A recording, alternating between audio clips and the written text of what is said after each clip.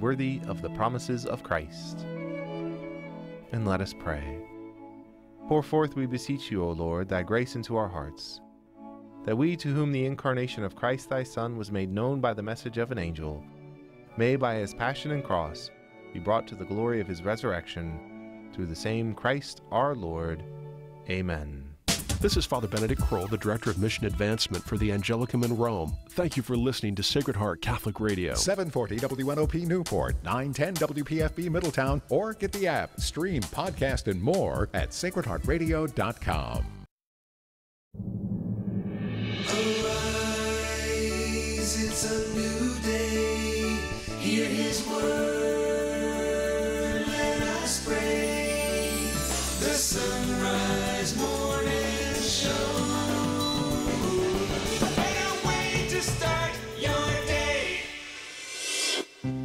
is Monday, the 12th of February.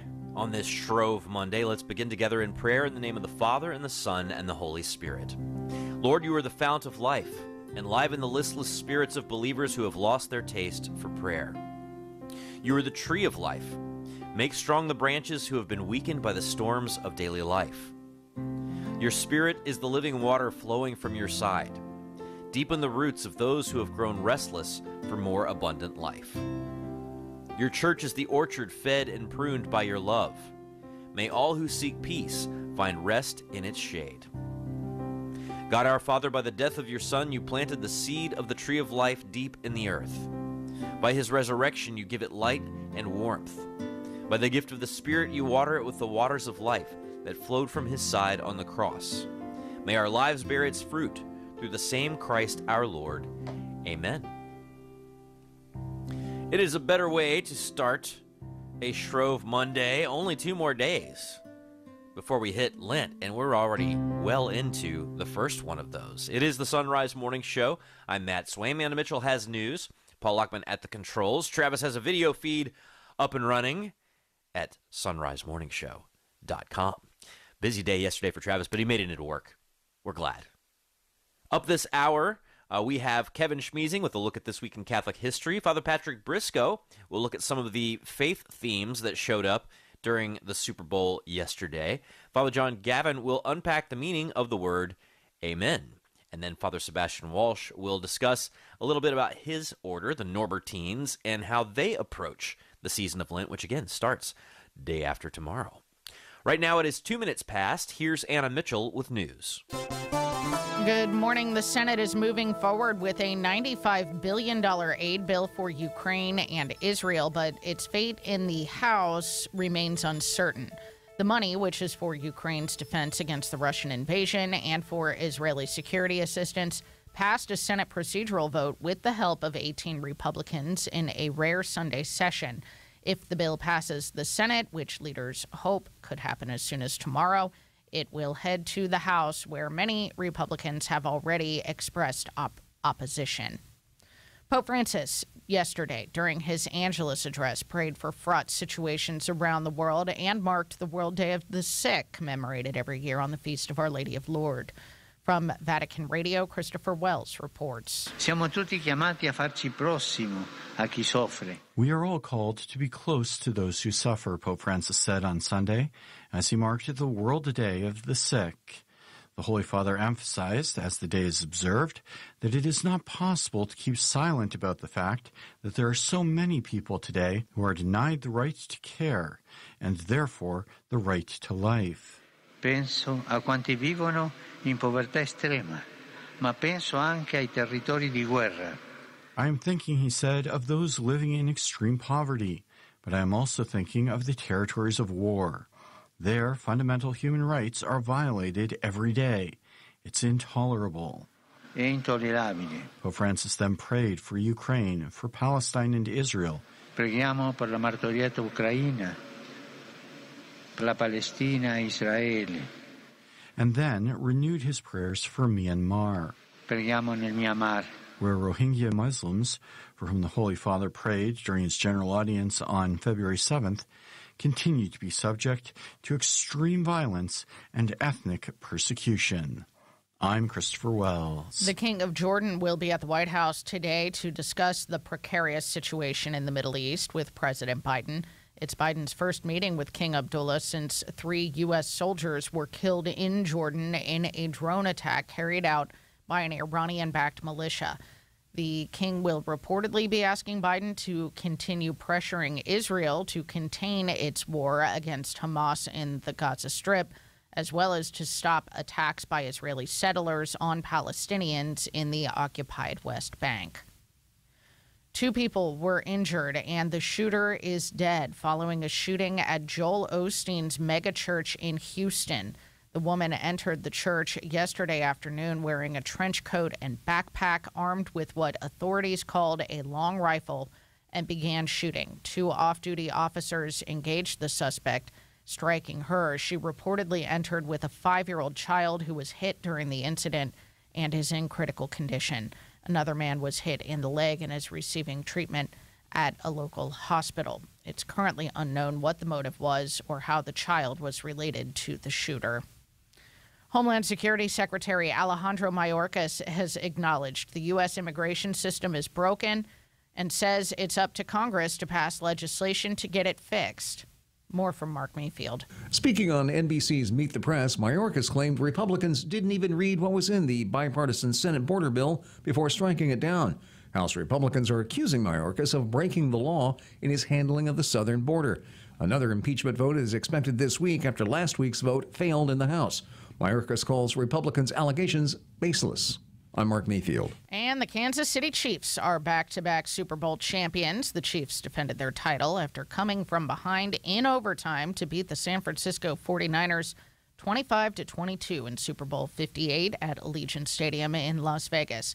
Patrick Mahomes was named most valuable player for the third time in his career after finishing the game with 333 yards, two touchdowns, and a pick. The Chiefs are the first team in the NFL to win back to back Super Bowls since the New England Patriots back in 2003 and 2004. 20 years ago. That's crazy. That feels it. That feels a lot more recent. So, do you want to know then what uh, Archbishop Salvatore Cordileone is sending to Bishop James Johnson? No, that's in my City, news next time. Okay, so then I won't spoil it. Yeah, don't spoil it. I won't spoil it. Well, happy Shrove Monday, Anna Mitchell. Happy Shrove Monday, Matt. Did you stay up? I okay, so I tried to stay up. I got through the first series of overtime and fell asleep on the couch and then mm. woke up hearing somebody say that the Kansas City Chiefs had won. Well, so. I stayed up. You watched the whole thing? I watched the whole I can't wow. believe I watched the whole thing. Well, it was an exciting game. It was an exciting, really very good. intense, well matched. Yeah. I think it's clear that it was the two best teams. Yeah, I think you're right. But uh, at least but for this year, our Bengals will be back next year. They'll be Paul back. Lockman's wearing a Kansas City Royals hat today. Okay, that's subversive.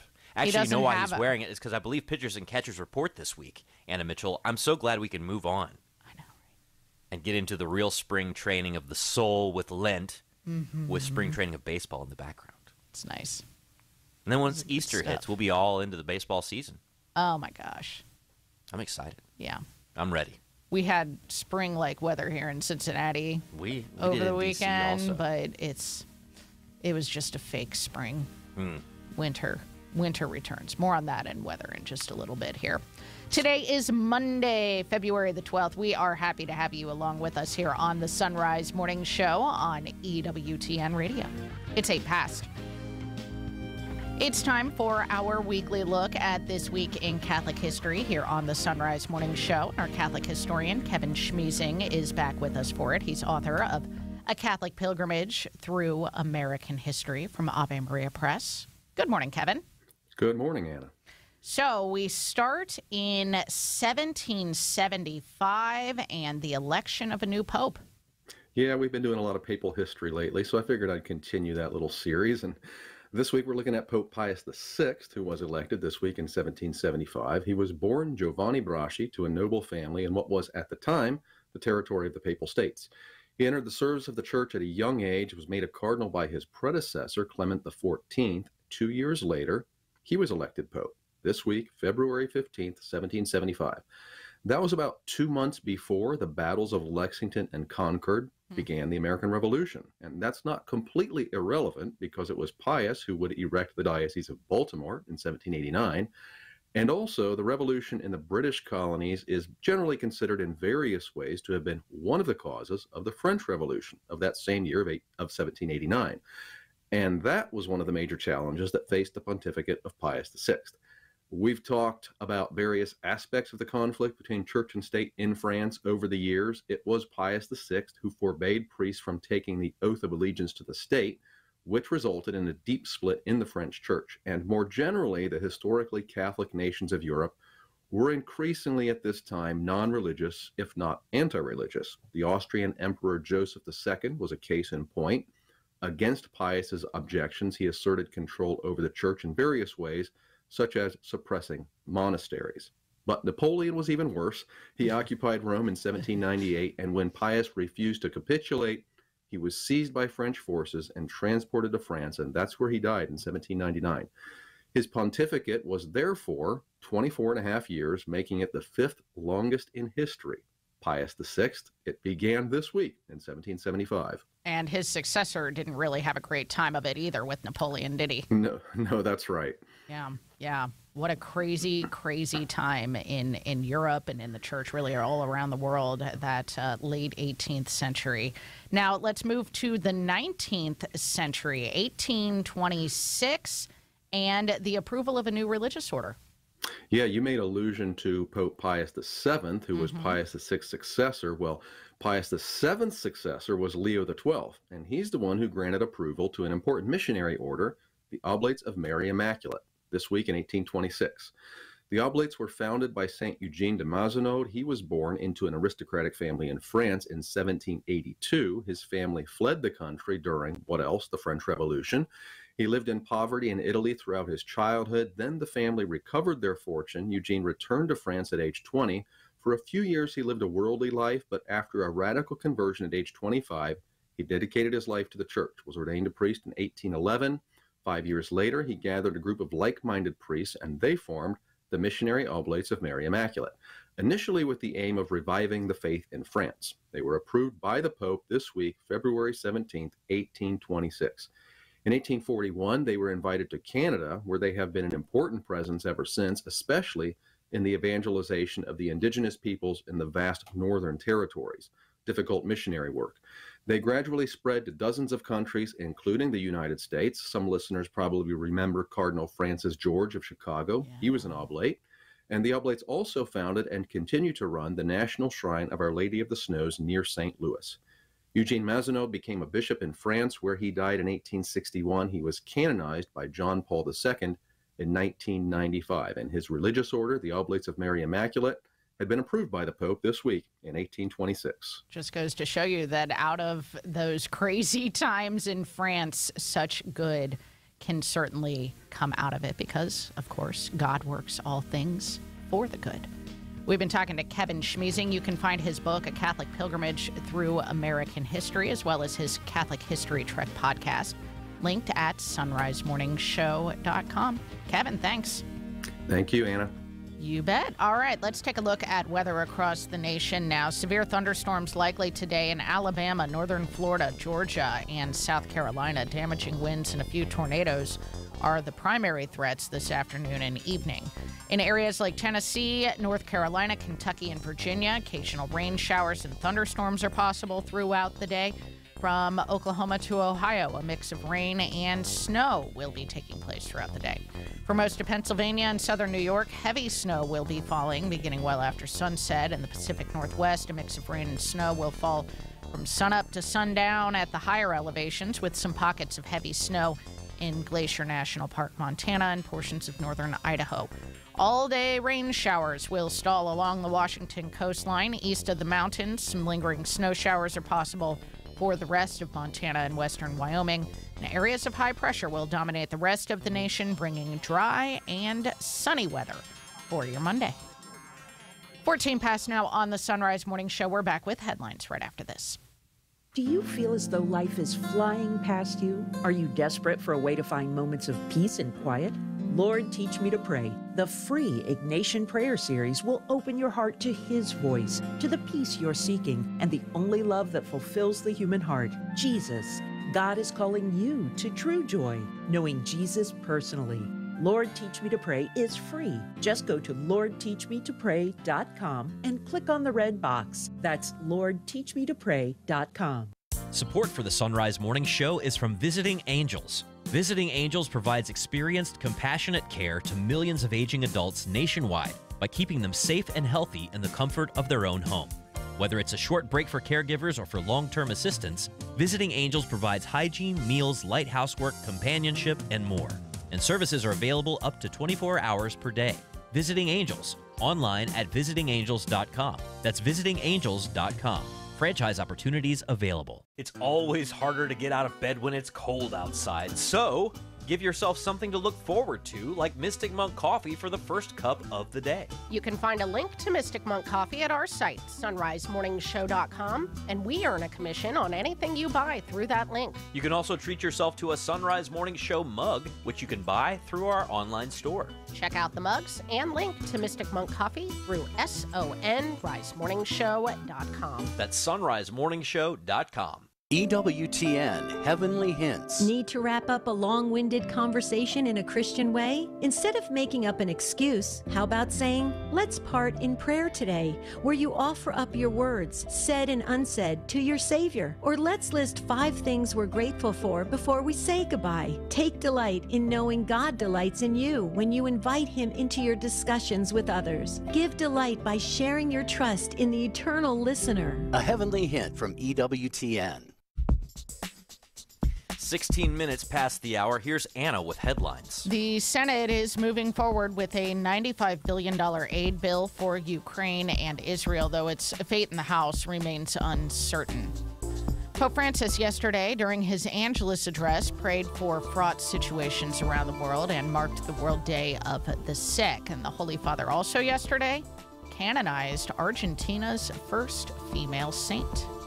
News at the top and bottom of each hour every weekday morning here on the Sunrise Morning Show. Well, it's not a saint feast day per se, but Anna Mitchell, I always like to point out on Shrove Monday, uh, the day before the day before Ash Wednesday, Right. and the beginning of Lent, that uh, at least according to uh, a a book that came out in 1849, and I feel like this is pretty reliable, and Stephanie Mann can confirm this, uh, that in the pre-Reformation days in England, you know that What book was this? I don't know that you've ever given me the particular citation of this. Oh, this I'm is John- I'm pros to. I, I mean, I'm I'm prone to believe this, but I I want to know the title of Well, the specific the specific passage I'm going to read comes from John Brand's observations on the popular antiquities of Great Britain, Britain chiefly illustrating the origin of, of our vulgar and provincial customs, Oh, okay, ceremonies, got it. and Okay, superstitions. great. Uh, came out in 1849. Wait, uh, but he talks about how in the north of England, the Monday preceding Shrove Tuesday or Pancake Tuesday Mhm. is called Collop Monday. Right. Eggs and collops compose a usual dish at dinner, as pancakes do on the following day. And uh, it says here uh, on Collop Monday, they the Catholics took their leave of flesh in the papal times, meaning pre-Reformation, Mhm. and uh, slices of this kind of meat, uh, these collops, were prepared to last during the winter by salting, drying, and being hung up. Uh, they're co- termed collops in the north. Uh, steaks, when cut off fresh or unsalted. A writer in the Gentleman's Magazine asserts, I don't know which Gentleman's Magazine, it says, asserts that most places in England have eggs and collops, aka slices of bacon, on Mhm. Shrove Monday. So, happy Bacon Monday Right. to all who observe. What was the name of this book again? So this is an anti-Catholic book that you're reading from? No, it's just an English history book about uh, Superstitions? customs, ceremonies, and superstitions. It says the origin have- of our vulgar and provincial customs, ceremonies, and superstitions. Do you have any other passages from this? Yeah, you can get the whole thing on Google Books. Really? Yeah. Just curious what else they say. Do they have anything to say about Pancake Tuesday? Oh, well, okay, actually. This is interesting. In an Old English ballad, the lasses are directed to pray cross legged to St. Valentine for good luck. In some parts of England, the poorer classes of children array themselves fantastically and visit the houses of the wealthy, singing, Good morning to you, Valentine. Curl your locks as I do mine. Two before and three behind. Good morrow to you, Valentine. I don't know that I'm going to do that one. I'm going to Oh, stick with yeah. Bacon Monday Well- and not not uh, go tell my kid to go knock on the doors of the houses of the wealthy and sing them a Valentine song. So it's like Halloween, except in February. Except Valentine. It's That's Valloween. interesting. Valloween. Valloween. Neat. Well, I don't know how many kids are doing, like my kids are doing Valentine's Day tomorrow because they don't want to interfere with Ash Wednesday. Yeah. So I don't know about other kids. But what if you just treated Ash Wednesday and Valentine's Day like as the same kind of thing and you got creative? What would you do? I Give don't know. people. You would just You can't mean, give treats. Marriage is a it sacrifice. feels weird that well i'm talking about school kids feels Oh, school weird kids. to like what meatless penitential item would you give children as a treat with the valentine You don't have to give them a treat. Just give them a piece of paper with a picture on it and like you write on the back of it. In my day, Anna Mitchell, you used to have to write the name of the, who the Valentine was to on the back of the card. These days, I just think that they write who it's from. well yeah because it takes forever to go around and pass out the valentines to each particular person Yeah. By the way, imagine? Ken Craycraft just texted me to remind me, and I, I should have brought this up, that vulgar in this does not mean rude or inappropriate. It just means of the common folk. well sure Like but- when Jerome wrote the Vulgate, he wrote it for normal The people to language. understand and read. The common language. but it still says superstitions in that we are a vulgar show, so Anna Mitchell. we're for the common people We're for the common man. Absolutely. 21 days. I'm Father Rob Jack. Join me this afternoon for Driving Home the Faith, where Monsignor Peter Vaccari will discuss the Catholic Near East Welfare Society. Dr. Gerry Crete will talk about his new book on anxiety entitled Litanies of the Heart. I'll speak about the Feast of Our Lady of Lourdes with frequent traffic and weather. That's this afternoon beginning at 4 on Sacred Heart Radio. You're on the road to Christ the King, driving home. Support is from Medi-Share. Let's see, if something costs less, but people are happier with it, that sounds like something to look into, and that is Medi-Share. Maybe you've heard switching to Medi-Share to pay for healthcare can save many families up to 500 bucks a month, and that is huge. But it's also true that people are way more satisfied after making the switch too. The member satisfaction rate for Medi-Share is double that of the typical health insurance plan. Double. Medi-Share works too. It's been around for 30 years. Members have shared more than $5 billion of each other's bills. People love having telehealth and a huge nationwide PPO network. So, yeah, really, you can save a ton and like it better. Imagine being happy with how you're taking care of your health care. So, if you're self employed or part of the gig economy, or you just want a plan you're happy with, you can call right now. You'll get a price within two minutes. So, see what you can save. This is a very, very smart use of two minutes. Here's the number you need call 877 64 Bible. That's 877 64 Bible. 877 64 Bible. All are precious in God's sight, no matter our age, race, ability, or residence. Yet many lives are threatened, especially in the womb. Cincinnati Right to Life works to protect the good gift of life at every age and every stage. For more information, go to cincinnatirighttolife.org. Water damage in your home or business?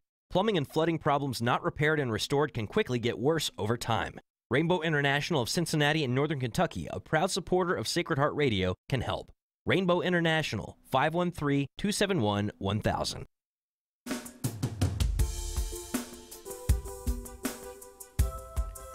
The Sunrise Morning Show continues on this Monday, the 12th of February. Glad that you are along to share a little bit of the, the last bit of ordinary time with us.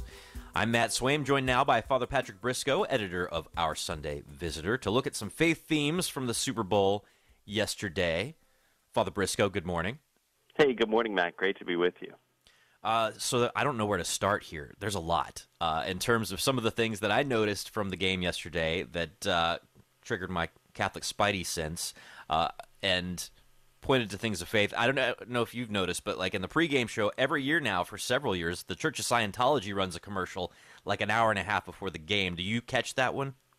That's really interesting. No, we the, we Dominicans we haven't tuned in yet because we're busy praying Vespers still. So Well, you're better off. I can tell you that. Seven hours of pregame is a bit much for, for the Super Bowl.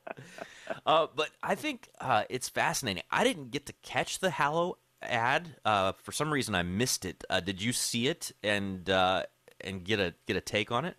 yeah, we did, and it got a lot of cheers. You know, it was uh, it was the thing that I was really interested to see is. Uh, you know, I live with a, a room full of extremely critical priests as part of being a Dominican friar, and and one one never knows what what they're going to get really excited about. But uh, but definitely there was a, there was a lot of enthusiasm f- for Hallow, uh, in part just because I think there's so much cultural vision toward Lent. Lent resonates with us as Catholics, uh, and people have seen how we've observed Lent, and that that has a real power in the culture. Um, so so the Hallow ad was appreciated. I, Yeah, there were and there were a couple of others. Uh, there's one I want to get to in a moment, but I noticed at least a couple of ads that were really trying to strike back at the anti-Semitic stuff that's been going on in the culture. A, a, a couple of different ones uh, that really spoke out against the hatred that some of our Jewish and bro- brothers and sisters uh, have been experiencing. And you know, it was a little bit surprising for me to see. I, I believe I saw two two ads like that. Yes, and uh, we we saw them both as as well, and our house was similarly surprised. Um, not not because we don't think the theme needs that kind of attention, but but we were glad to see it out there. And the spokespeople were very interesting for those ads, I would say as well.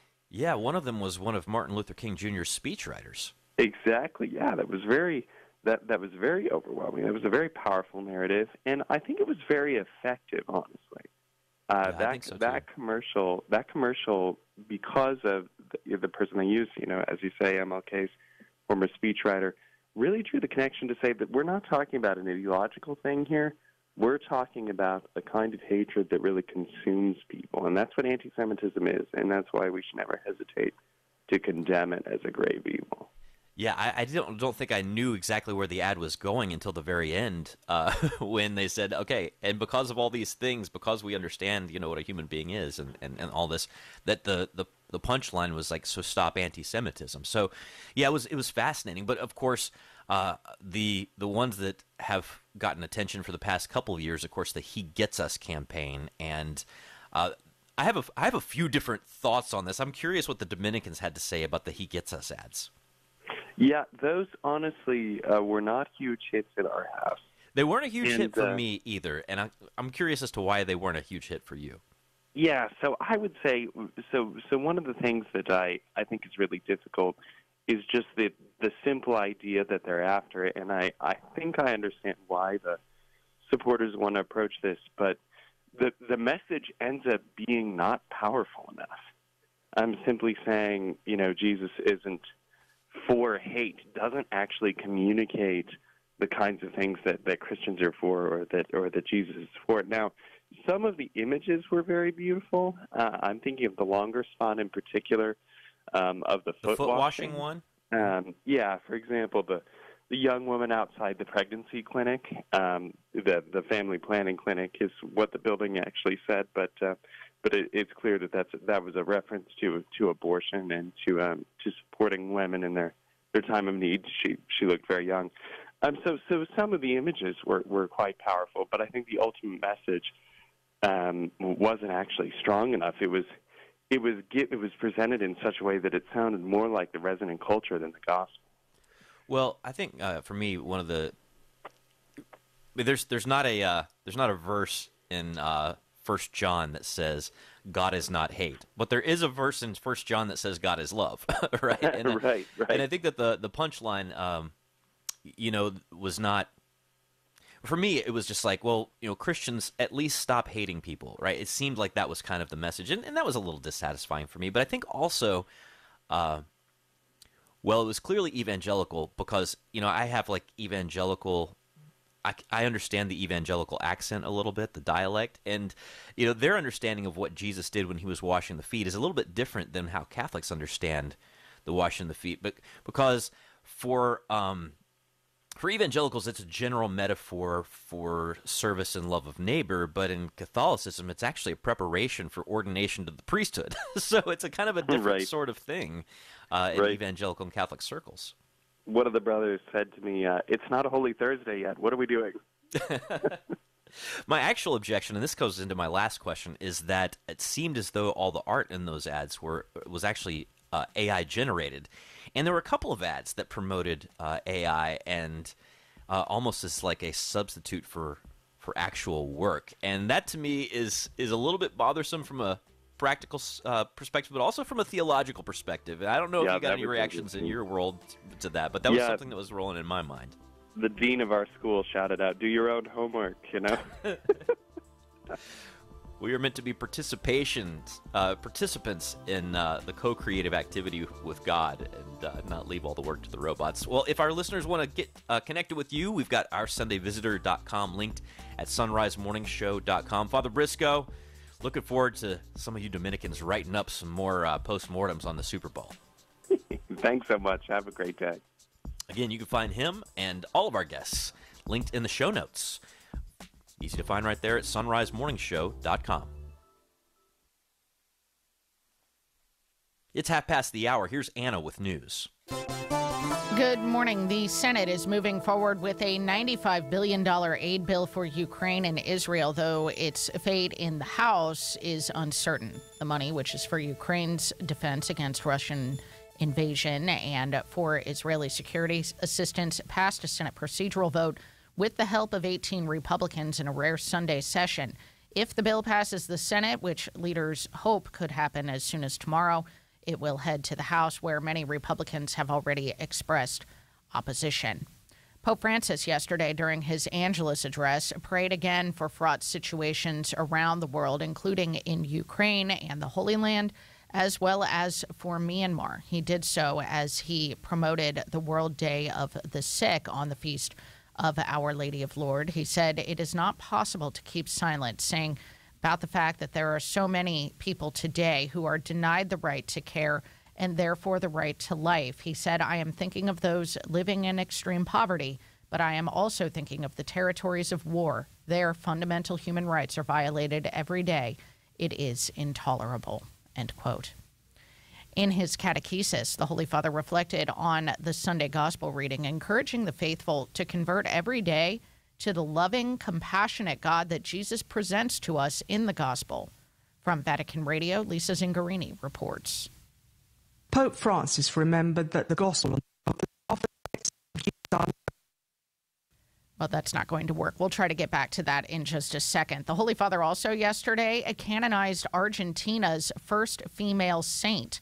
The Argentinian Pope raised to the altars now Saint Maria Antonia de San Jose, known as Mama Antula.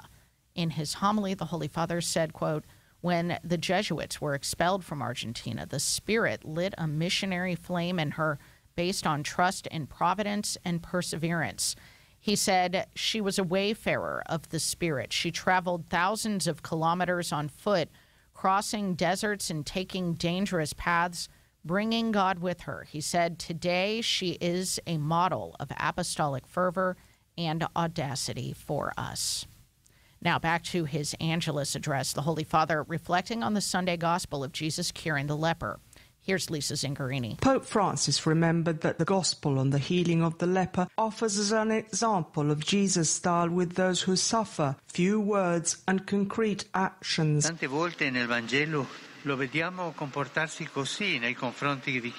Pope recalled that we see Jesus behave like this several other times in the Gospel when he heals the deaf and dumb, the paralyzed, and many other needy people. He always does this. He speaks little and promptly follows his words with actions, said the Pope.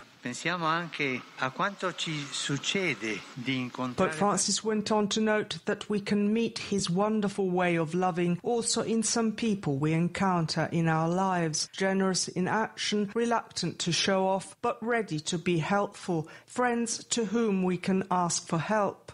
This concreteness, the Pope remarked, is even more important today in a world where an evanescent virtuality of relationships seem to be increasingly prevalent.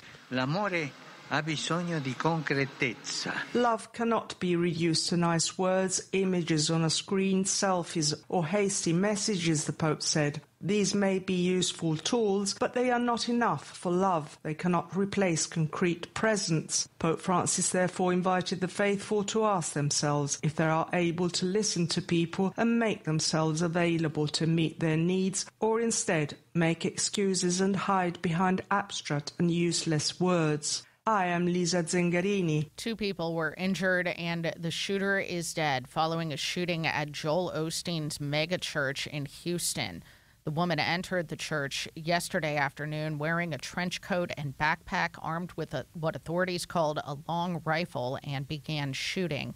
Two off duty officers then engaged the suspect, striking her. She reportedly entered with a five year old child who was hit during the incident and is in critical condition.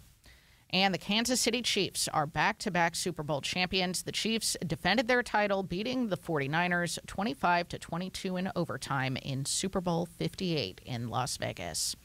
That's the news. It's 35 minutes past the hour. The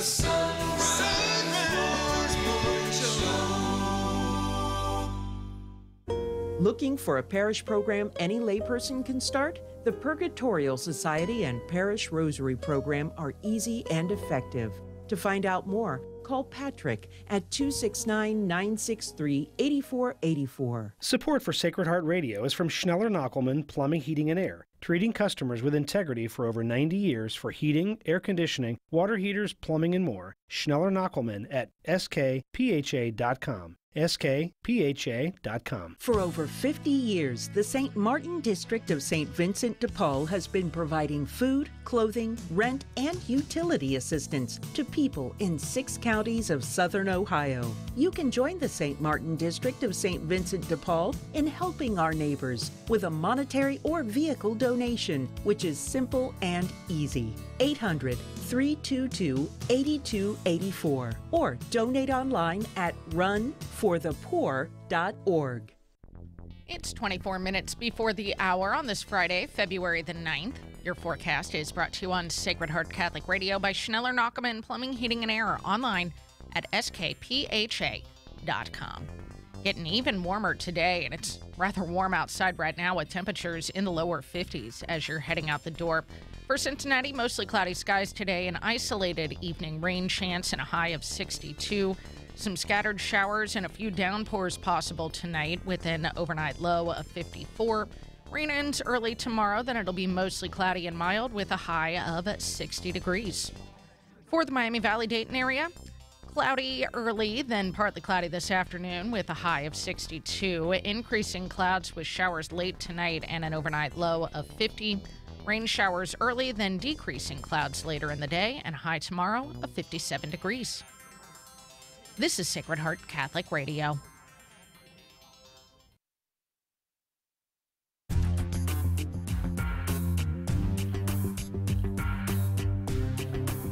It's 37 minutes past the hour. You're listening to the Sunrise Morning Show on the EWTN Global Catholic Radio Network. Happy to have you along with us on a Monday morning. Thanks for joining us. Father John Gavin back with us now on the Sunrise Morning Show. He is author of Mysteries of the Lord's Prayer Wisdom from the Early Church. Good morning, Father. Good morning. So, I don't remember how long ago we actually started this series of ours looking at the fathers of the church quoted in the Catechism of the Catholic Church, but all this time we have been in part one of the Catechism, which goes through the creed, but you know, the basics of the faith. And now we are coming to the end of part one on the profession of faith. And there's a whole section devoted to the word amen. Why is Yeah. that? Well, I, I really I think it's wonderful how it ends the section this way because, of course, we use this word very often as Catholics uh, in the celebration of the Mass and our prayer, and perhaps we never think about what it actually means. Yeah. And as the section begins by uh, it begins by telling us that, in fact, the Hebrew root for the word "amen" uh, is to believe or to affirm as true. And so, what we are saying here is all that has been stated in our faith, in, uh, in the liturgy, is true. It, we affirm it as coming from God, uh, our trust in God, and then in turn, uh, the great trust that God places in us in giving us these truths and these gifts of the faith. And so now we're going to look at a St. Augustine quote in uh, paragraph 1064, and it reads thus Thus, the finals. Sorry, let me start that over again. Thus, the Creed's final Amen repeats and confirms its words I believe.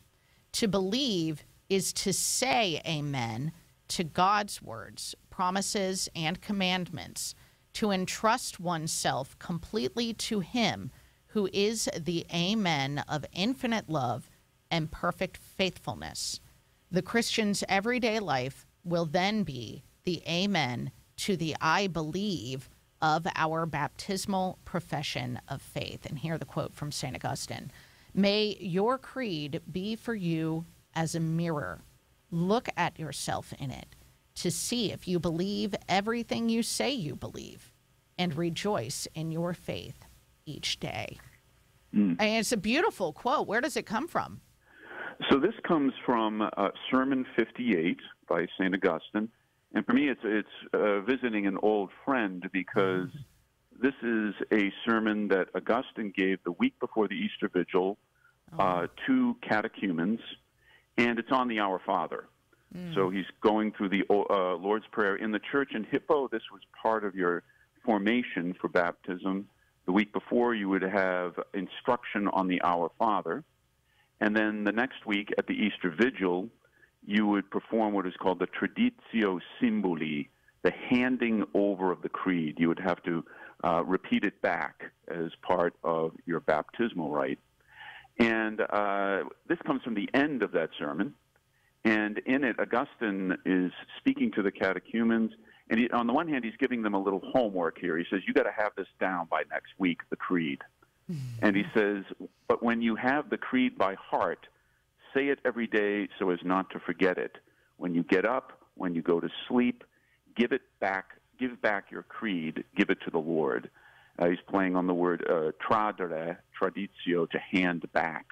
Mm. And that's where he moves into this point call your uh, call to fa- your faith to mind look at yourself treat your creed as your own personal mirror and he's encouraging them yes you're going to repeat it back but also uh, the creed shouldn't just be rote words that you recite but it should actually be formative in your life uh, it becomes in a way a mirror by which you see yourself the church and your relationship with god wow I mean, to to hear those words, I mean, presumably he's talking. I mean, obviously he's talking to the catechumens, as you were saying, but mm. presumably uh, those who are already baptized in in the church in full mm. communion, they're listening as well.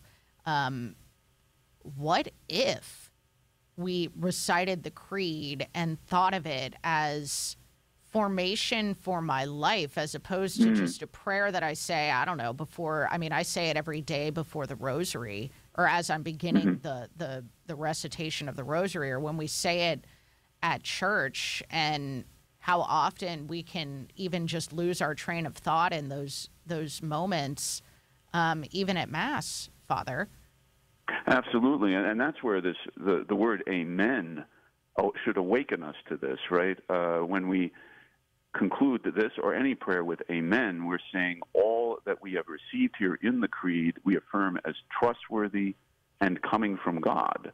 And it's a communal outcry, especially in the liturgy, right? Uh, we're all saying this together. We are all saying we believe this is true. But you're right, uh, it should awaken us within us a, a new kind, a new stance in the way we see ourselves and our relationship to God. Any one of the points of the creed should awaken us to that, uh, especially uh, the affirmation of the Trinity that so shapes the creed, right? Father, Son, and Spirit.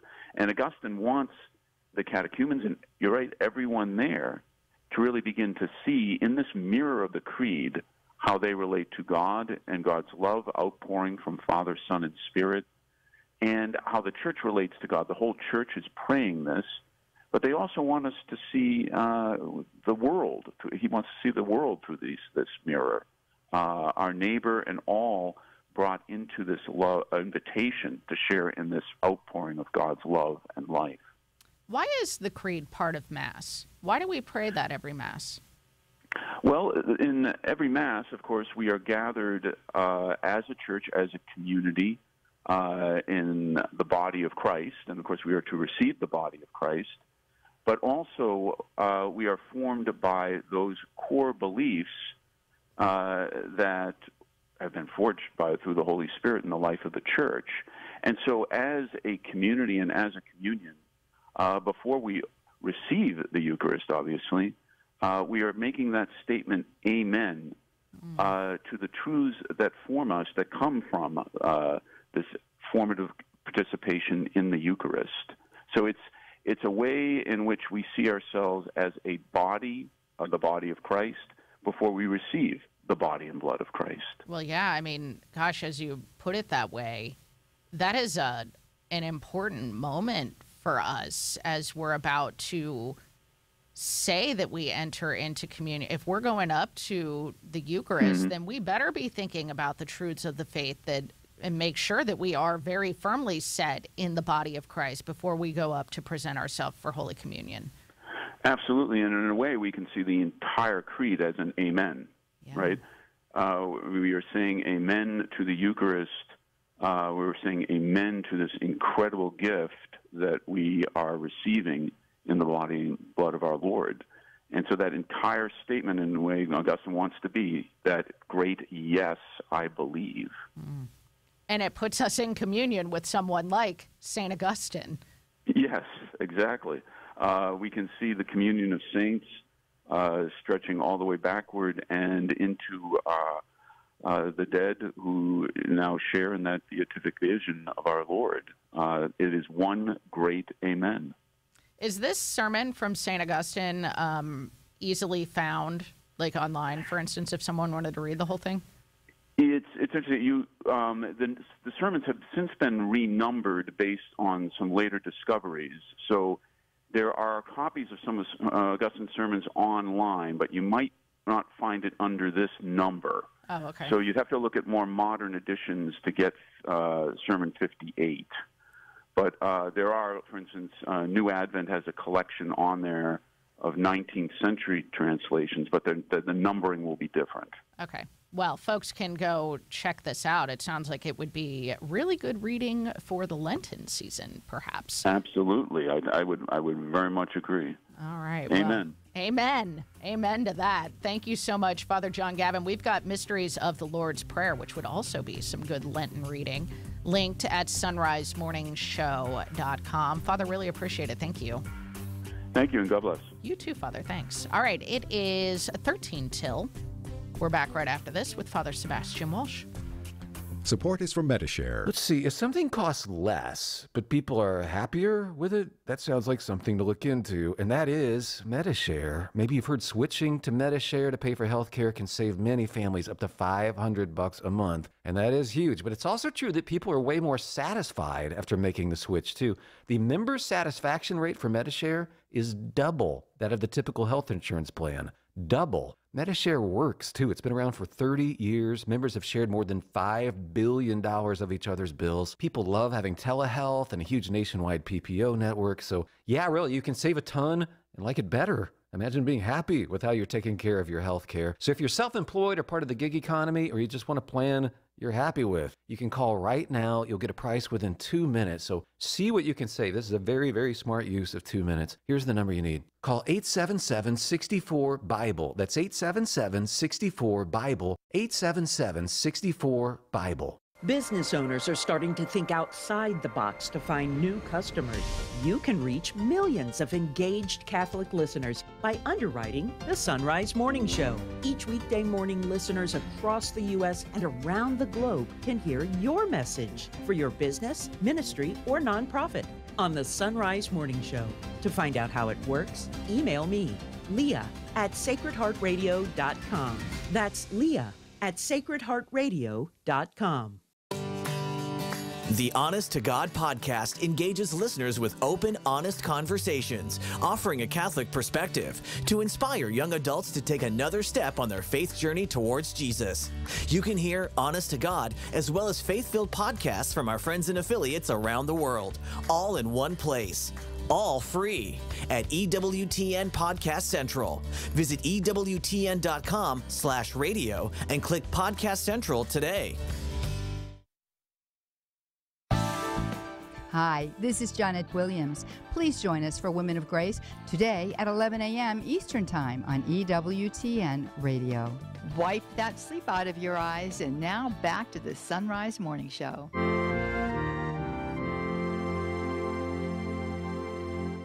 The Sunrise Morning Show continues. I'm Matt Swaim, and it's been great to go through this book of uh, Father Sebastian Walsh's on the Beatitudes uh, called Heart of the Gospel How the Beatitudes Show Us God's Plan for Happiness. Father Sebastian, good morning. Good morning. All right, so we've asked this of a few different people in religious orders uh, because, you know, Annie and me and Paul Lockman and the crew, we all decide we're going to give up X or Y or Z for Lent. when it comes to you living in community uh, with a religious order, is this something that you think about how to do together or something that you receive from your superior? How do you undergo what Lenten practices you're going to take up uh, as a vowed religious? Yes. Well, there's um, there's really uh, three different things that happen with regard to our Lenten practices. The first is that as a community, we rededicate ourselves to the penances that we do all year, and those are the, the penances described in the rule and what we call our canonry book of customs. So we have annually throughout the entire year uh, a rule with regard to penances that's sometimes um, in certain times of the year those penances are lighter, for example, the Easter season and the summertime. And other times of the year, those penances are um, heavier, for example, during uh, Lent and Advent, which are penitential seasons. So we already have that written into our rule of life and into our um, book of customs for community. Then the next thing that happens is that each confrere, each member of the community, speaks to his or her spiritual director, right? So we have Norbertine nuns, so they speak to their spiritual directors. We have Norbertine priests, we speak to our spiritual directors. And then we try to um, uh, form our own private or personal um, plan or program for penance during Lent.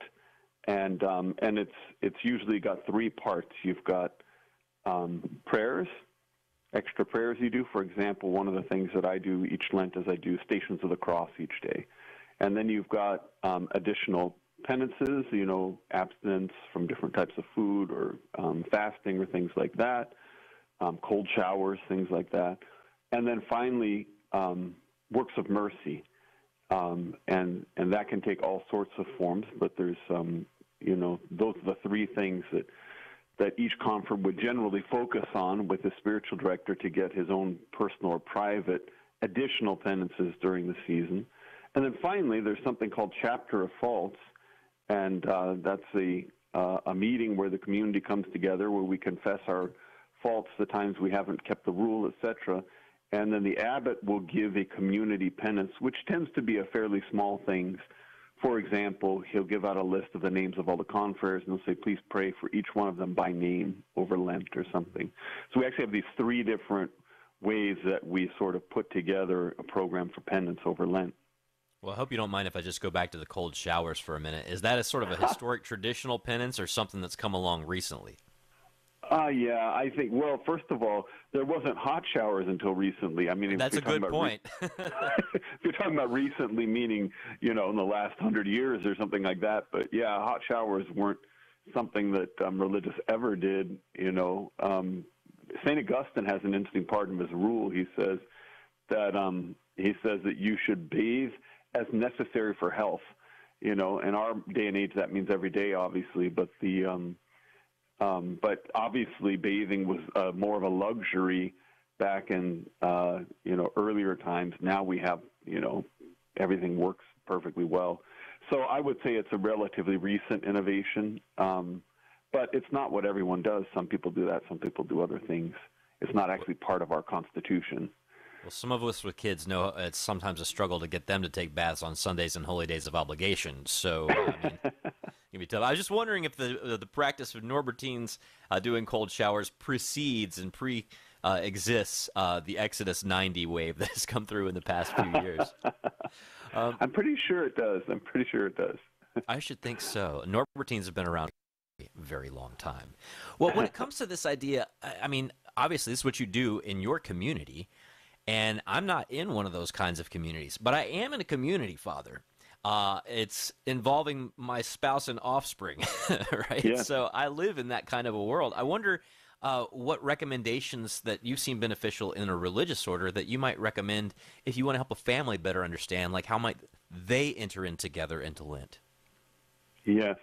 Well, okay. As in a religious community, so in a family, the primary rule of penance um, is is charity. Okay, and that means that you know I always tell people who are under my spiritual care, um, for example, fast up to the level of your charity. Meaning this: if you're fasting so much that you're mean to people, stop fasting.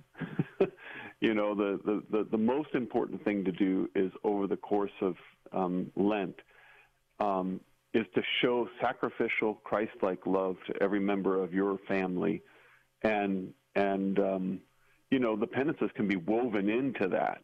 You know, for example, if you have a tendency to you know talk over your wife when you're when you're both talking to each other, something like that, like restrain your words. You know, listen to her more. If you have a tendency to get you know excessively you know um, um, bossy with your kids or something like that, you know, then be more patient and things like that. So your penances could sometimes weave into, in fact, they're done best if they um, immediately contribute in some way to the good of the family at your personal expense, you know.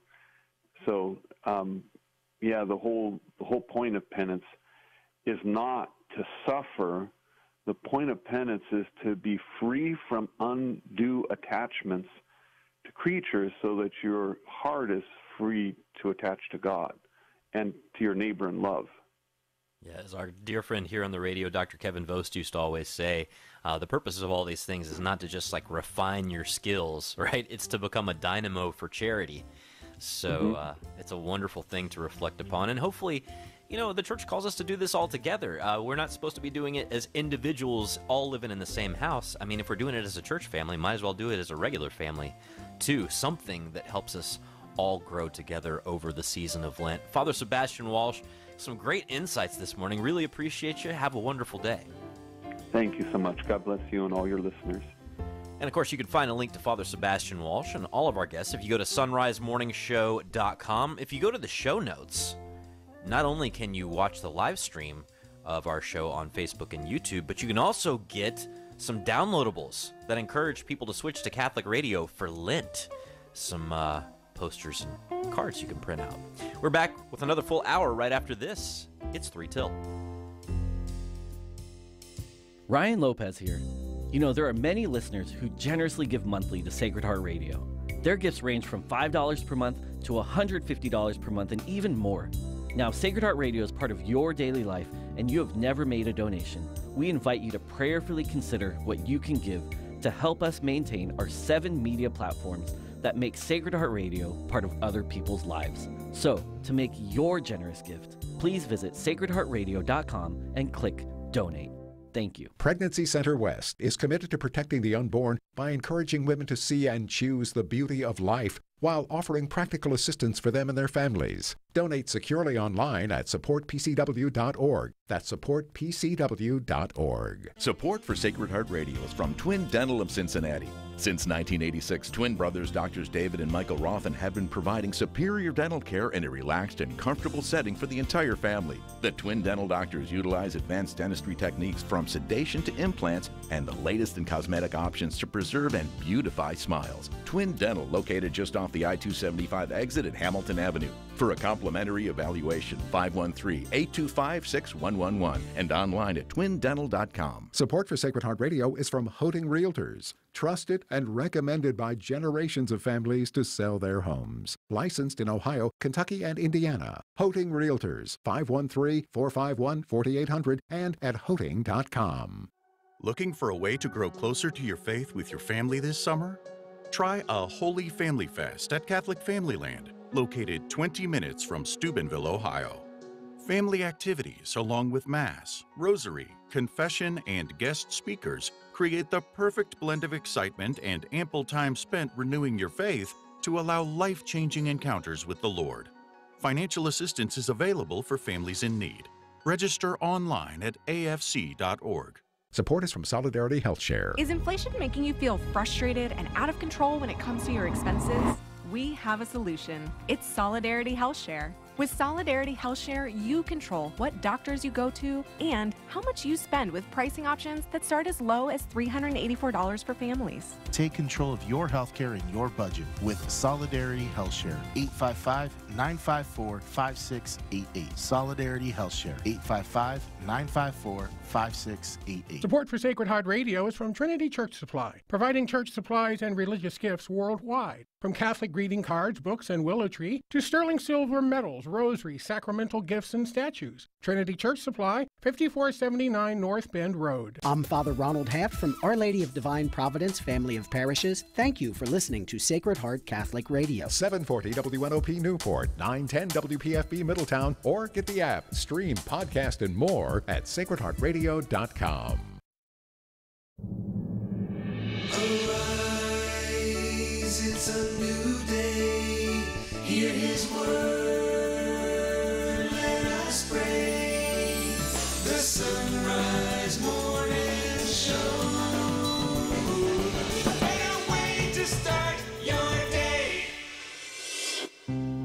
continue on this Monday, the 12th of February, with a prayer written by St. Clement of Alexandria in the name of the Father, and the Son, and the Holy Spirit. Lord, may we all live in the peace that comes from you. May we journey toward your city, sailing through the waters of sin, untouched by the waves, borne tranquilly along by the Holy Spirit, your wisdom beyond all telling. Night and day until the last day of all, may our praises give you thanks, and may our thanksgiving praise you. You who alone are both Father and Son, Son and Father, the Son who is our tutor and teacher, together with the Holy Spirit. Hail Mary, full of grace, the Lord is with thee. Blessed art thou among women, and blessed is the fruit of thy womb, Jesus. Holy Mary, Mother of God, pray for us sinners, now and at the hour of our death. Amen. It's a better way to start a Monday. Some of y'all were up late last night watching a big game, but uh, we got we got our own big game, our own thing to prep for, get in physical and mental and spiritual shape for, and that's Lent, which starts the day after tomorrow. It is Bacon Monday. We'll talk more about that as the morning continues. I'm Matt Swaim. Anna Mitchell has news. Paul Lockman at the controls. Travis has a video feed up and running. You can check it out. It's in the show notes at sunrisemorningshow.com. Up this hour, Teresa Tomeo will have some thoughts on the Super Bowl, that which she saw of it. I think she also probably missed some because she, like us, has to get up early. Brendan Hodge will discuss state funding in Catholic schools. He joins us from the Pillar. Bear Woznick has some more thoughts on rules for manliness this morning. And then Stephanie Mann with English Catholic history uh, tidbits. So please do stay with us if you can. Right now, it is two minutes past. News a service of Central Fabricators and centralfabricators.com. Here's Anna Mitchell. Good morning. The Senate is moving forward with a $95 billion aid bill for Ukraine and Israel, but its fate in the House is uncertain. The money, which is for Ukraine's defense against the Russian invasion and for Israeli security assistance, passed a Senate procedural vote with the help of 18 Republicans in a rare Sunday session. If the bill passes the Senate, which leaders hope could happen as soon as tomorrow, it will head to the House, where many Republicans have expressed opposition. Pope Francis, yesterday during his Angelus address, marked the World Day of the Sick, commemorated every year on the Feast of Our Lady of Lourdes. From Vatican Radio, Christopher Wells reports. Siamo tutti chiamati a farci prossimo a chi soffre. We are all called to be close to those who suffer, Pope Francis said on Sunday as he marked the World Day of the Sick. The Holy Father emphasized, as the day is observed, that it is not possible to keep silent about the fact that there are so many people today who are denied the right to care and therefore the right to life. Penso a quanti vivono in povertà estrema, ma penso anche ai territori di guerra. I am thinking, he said, of those living in extreme poverty, but I am also thinking of the territories of war. There, fundamental human rights are violated every day. It's intolerable. Pope Francis then prayed for Ukraine, for Palestine and Israel, Preghiamo per la martoriata Ucraina, per la Palestina e Israele. and then renewed his prayers for Myanmar, Preghiamo nel Myanmar. where Rohingya Muslims, for whom the Holy Father prayed during his general audience on February 7th, continue to be subject to extreme violence and ethnic persecution. I'm Christopher Wells. The King of Jordan will be at the White House today to discuss the precarious situation in the Middle East with President Biden.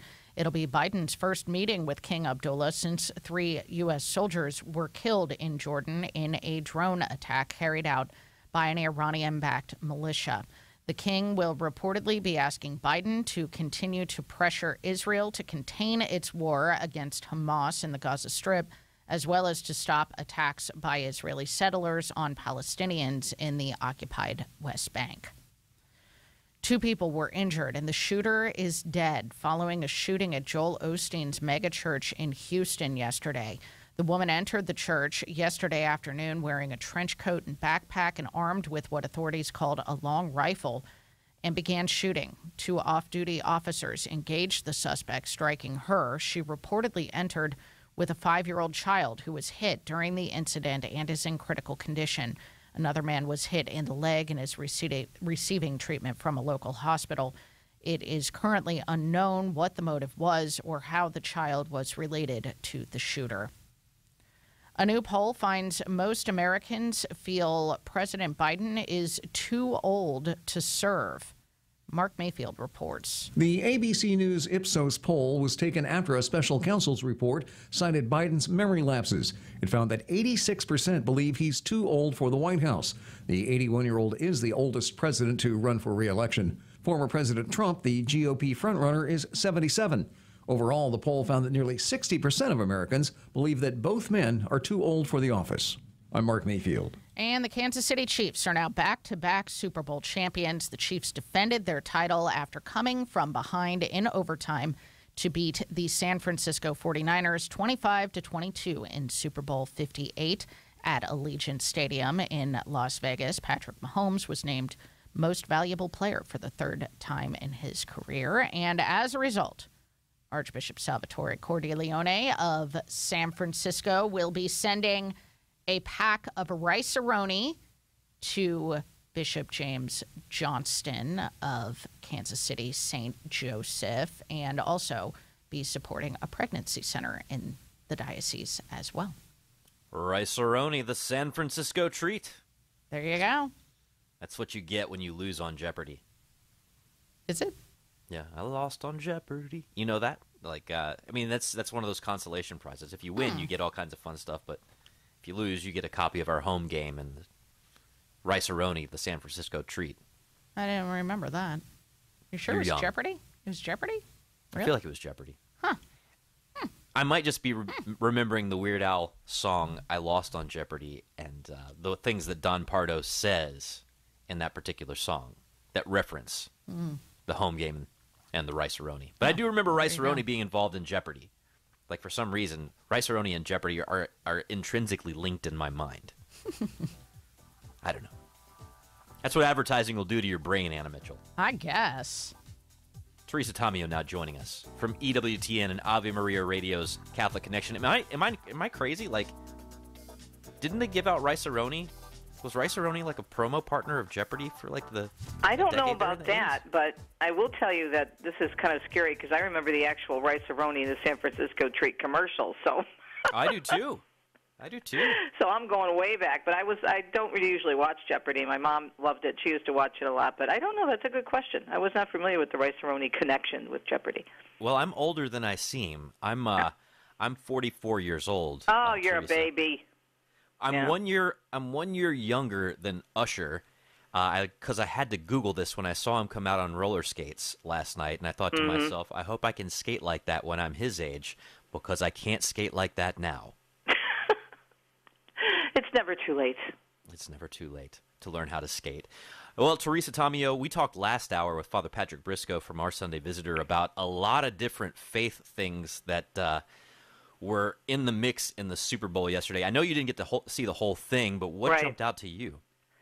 Well, I was trying to figure out this ad he gets us, and I saw a, a very I got good, intel, um, by the way, if you email. need that. Um, I'm sorry, what? I got intel on the He Gets Us campaign if you need that. Yeah, because it's kind of confusing. I thought it was confusing. A, a couple of ways, I guess you could see it as them. If you go to their website, so I figure, okay, I'm going to go to the source see what they have to say, because that's always I'm trained as a reporter to see what people are actually saying versus what other people are saying. And they're claiming, if you look at the description of the ad, that it, because it's an election year, they don't want to promote more division. They want to promote discussion and humility and treating each other kindly. But if you look at some of the in- images, it can be confusing because they say, well, you know, Jesus taught us to love and not hate. Well, but he also taught us to hate evil. And the scene outside the family planning clinic is confusing. What are they saying? Are they saying that abortion is okay because there's a woman washing the feet of a young girl, and then in the background you see pro-lifers with their signs, and they're in the background and the woman is in the front. So what are they trying to say there? It's just there's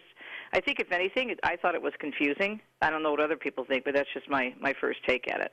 Well, I can tell you that based on the history of the He Gets Us campaign, if it was promoting uh, being okay with abortion, then that was a mistake, accidental. Uh, that was not what they intended because I know Yeah. that the Hobby Lobby folks have given lots and lots of money in Right. the past to the He Gets Us campaign, and that uh, actually a, a bunch of the blowback on social media has been.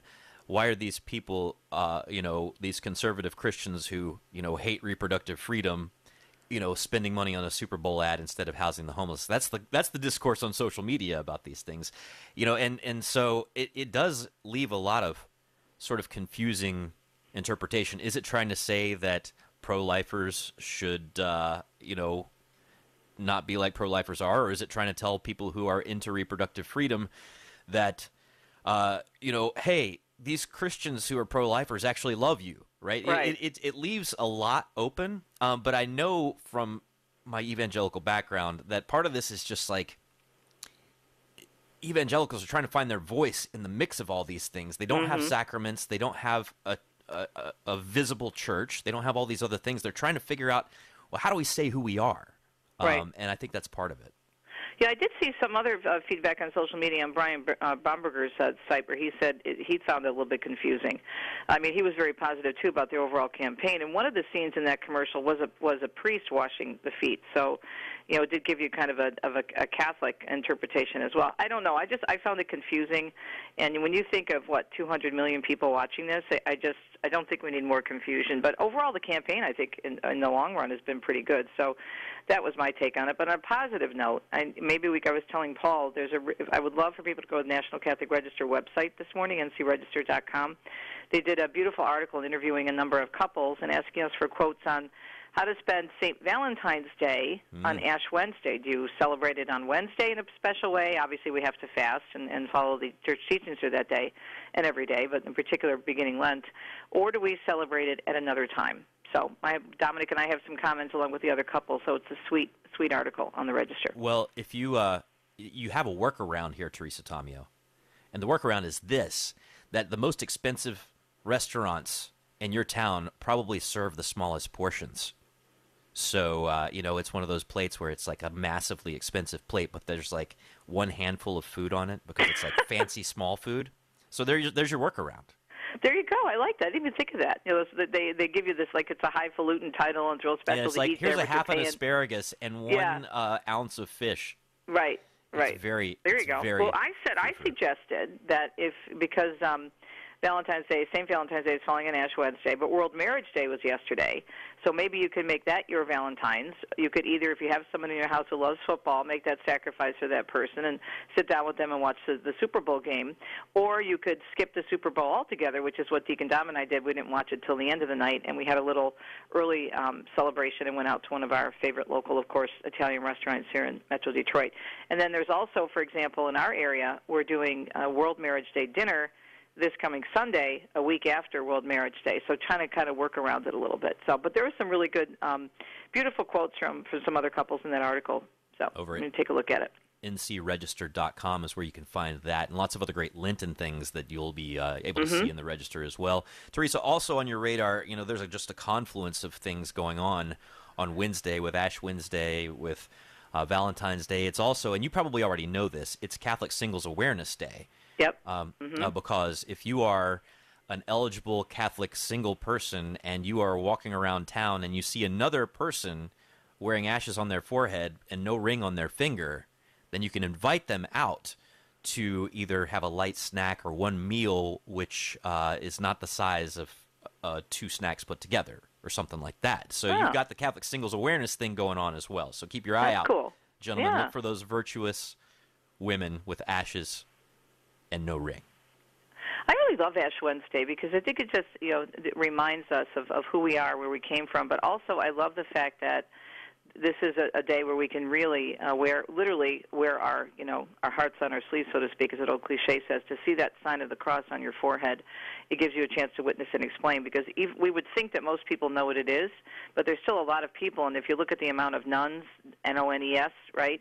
There are a lot of people who don't understand the basics of the faith, and I think, as you know, more and more evangelicals are also practicing Lent more strongly, Absolutely. and and may even have ashes on their forehead. So it's a great witness. Yeah, I can tell you this that ashes were not a thing in my evangelical background, and I now know tons and tons of evangelicals, even non denominational churches, who have gotten into the ashes thing. I think people really do uh, uh, respond to that whole sacramental worldview the idea that matter matters, that it matters what we say with our bodies, that things, Yes. things mean Mhm. stuff, uh, to put it as uh, theologically astutely as possible. Things mean stuff, Teresa. Amen. Amen. That's why it's so great to be Catholic.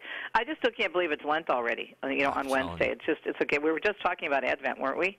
Oh my goodness. It's been fast. But you know what? This is the easiest time of year, and Anna Mitchell and I are going to talk about this in a minute. Easiest time of year to encourage somebody to tune into Catholic radio because everybody wants to do something, right? And Ah. Catholic radio is is a great tool to help you like enter in. So tune in, stay tuned in, tell a friend, tell them Teresa Tomeo's on every morning on EWTN and Ave Maria Radio. Teresa, have a wonderful day. Thanks. We'll talk to you next week. Ciao. All right. It is 16 past. We're back right after this. Support is from Medi-Share. Let's see, if something costs less, but people are happier with it, that sounds like something to look into, and that is Medi-Share. Maybe you've heard switching to Medi-Share to pay for healthcare can save many families up to 500 bucks a month, and that is huge. But it's also true that people are way more satisfied after making the switch too. The member satisfaction rate for Medi-Share is double that of the typical health insurance plan. Double. Medi-Share works too. It's been around for 30 years. Members have shared more than $5 billion of each other's bills. People love having telehealth and a huge nationwide PPO network. So, yeah, really, you can save a ton and like it better. Imagine being happy with how you're taking care of your health care. So, if you're self employed or part of the gig economy, or you just want a plan you're happy with, you can call right now. You'll get a price within two minutes. So, see what you can save. This is a very, very smart use of two minutes. Here's the number you need call 877 64 Bible. That's 877 64 Bible. 877 64 Bible. If the cold winter mornings make you want to stay in bed, it's time to get some Mystic Monk coffee or tea to help make kicking off the covers a little easier. And when you head to their site by clicking the link at sunrisemorningshow.com, you earn us a commission on your purchase without spending anything extra. While you're at our site, be sure to check out our online store where you can buy Sunrise Morning Show mugs and travel mugs. Get a mug and link to Mystic Monk Coffee at sunrisemorningshow.com. That's sunrisemorningshow.com. The most original and exclusive Catholic content is on EWTN Radio. You know, we talk story with each of our very unique guests for the whole hour. so that you can go deep with us as you yourself pursue your own story of heroic virtue and as you pursue intimacy with God. The Bear Woznick Adventure, Saturday night, 6 Eastern on E EWTN Radio. 18 past, here's Anna with headlines. The Senate is moving forward with a $95 billion aid bill for Ukraine and Israel, though the fate in the House is uncertain. Pope Francis yesterday, during his Angelus address, prayed for fraught situations around the world and marked the World Day of the Sick. Also, yesterday, he canonized Argentina's first female saint. News at the top and bottom of each hour every weekday morning here on the Sunrise Morning Show. Anna Mitchell, as Teresa and, uh, and I were just discussing, this is the easiest time of year to invite somebody to listen to Catholic radio. Yep. People are looking for stuff. I mean, for crying out loud. There was a Lent promo that was bought during the Super Bowl Yeah. last night with the Hallow people. People want something this time of year, and all you've got to do is lean over to somebody at Daily Mass or Ash Wednesday or a friend of yours and say, hey, you know that there's like a 24 7 Catholic resource running in our town, and all you got to do is turn on your radio? Well, you know, you don't even have to be that forward with someone at Mass. We've uh, created these little cards that you can print out. If you go to, Matt, you posted them in the show notes, right? I did. There, you can I've- download the PDF. Yeah, if you go to sunrisemorningshow.com and click on the show notes for today, you can get a PDF with little business card sized switch to Catholic radio for Lent. If you would like to see, I'm uh, just about to post the image on our Facebook page if uh, if you would like to check it out. But they're black and white, so it's not going to like kill your printer or anything. And we also have like a sort of a poster size Like a one poster, yeah. If you, you uh, if can. you- If you could ask your pastor always before you put something on the bulletin board. This is very important. Mhm. But some of you are pastors, some of you are deacons, some of you are DREs, and if you go, uh, you can find at sunrisemorningshow.com in the show notes, and we'll put them in the show notes every day. That poster that you can throw up on a bulletin board or throw up wherever you like, uh, and it's got a QR code. It's it's very easy for people to connect with Catholic Radio, and we made it uh, to where no matter where you live, it still says switch to Catholic Radio. Exactly. And if somebody's like, "Where's Catholic Radio?" you can be like, "Well, here's where it is in our town." So, Yeah. there you have it. Absolutely. And um, if they listen on their smartphones, the QR code will take them to our app because Sunrise that's what we app. can make a QR code for. But um, but yeah, if you've got the local Catholic radio station, write it on the back of the card, Indeed. whatever You'd the be like, "Hey, frequency happens to be. here's how you find St. Gabriel just, Radio you know, around hand it- here. Here's hand how it you out find to Real folks. Presence Radio. Yeah. Make it happen. Simple Again, as that. It's not as big a penance as you think. No, no. Morning show's a little weird, but the rest of the schedule's pretty cool. It's pretty good. SunriseMorningshow.com. Check it out. Ryan Lopez here. You know, there are many listeners who generously give monthly to Sacred Heart Radio. Their gifts range from $5 per month to $150 per month and even more. Now, Sacred Heart Radio is part of your daily life and you have never made a donation, we invite you to prayerfully consider what you can give to help us maintain our seven media platforms that make Sacred Heart Radio part of other people's lives. So, to make your generous gift, please visit sacredheartradio.com and click donate. Thank you. Support for Sacred Heart Radio is from Twin Dental of Cincinnati. Since 1986, twin brothers Doctors David and Michael Rothen have been providing superior dental care in a relaxed and comfortable setting for the entire family. The twin dental doctors utilize advanced dentistry techniques from sedation to implants and the latest in cosmetic options to preserve and beautify smiles. Twin Dental, located just off the I 275 exit at Hamilton Avenue. For a complimentary evaluation, 513 825 6111 and online at twindental.com. Fish is back at Arby's. Just in time for Lent. Two for $6 Arby's crispy fish sandwich hangs over the sides and is served on a sesame seed bun with lettuce and tartar sauce. Or step up to Arby's Crispy King's Hawaiian Fish Deluxe Sandwich. It's delicious wild caught Alaskan pollock, lightly breaded, cooked to crispy perfection, and served on a King's Hawaiian bun with lettuce, tomato, natural cheddar, and tartar sauce. Arby's is proud to support Sacred Heart Radio. I'm Emily Mackey, inviting you to an inspiring event for the pro life community, a pro life gathering for her. I'll be there to discuss theology of the body. Joining me will be pro life advocate Rebecca Hagan and Donna Murphy of Heaven's Gain Ministries. The day includes Mass, confession, and lunch. It's Saturday, February 24th at St. Susanna Church in Mason, brought to you by Cincinnati and Dayton Right to Life. For tickets, cincinnatirighttolife.org. That's cincinnatirighttolife.org.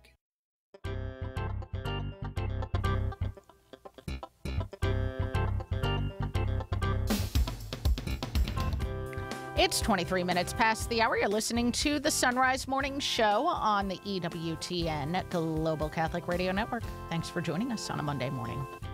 Brendan Hodge is back with us now on the Sunrise Morning Show. He is Darwin from the Darwin Catholic blog, darwincatholic.blogspot.com, author of If You Can Get It, a novel from Ignatius Press, and is a contributing editor to The Pillar. Good morning, Brendan. Good morning. Great to be on with you. It is great to have you back. And you are working on a story for The Pillar about state funding and Catholic school enrollment. First of all, just give us the big picture of what you're looking at with this.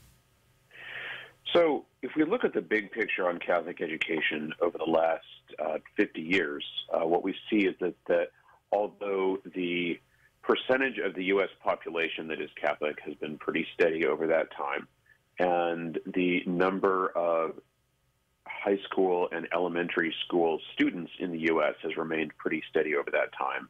The number of students in Catholic schools has decreased by 65% over the last 50 years. Wow. And one of the big contributing factors since Vatican II is that if you look back to kind of the pre-conciliar church, where there were a lot of uh, religious brothers and sisters and a lot more priests, a lot of these schools were run primarily by consecrated religious, and these were people who dedicated their lives to serving the church. They did so without a whole lot of monetary cost, and so these schools were very inexpensive for Catholic families to send their students to.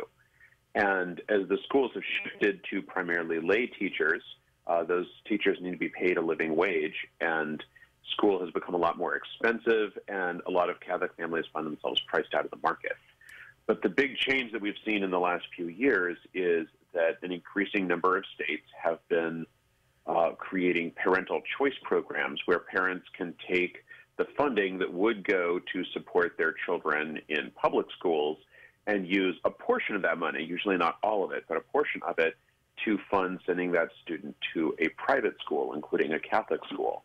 And we're seeing this rapidly increase in some states, and um, that seems to be having a significant effect on Catholic school enrollment in those states. And so, what we want to take a look at is the effect of those programs and what that would mean for Catholic schools as these programs expand.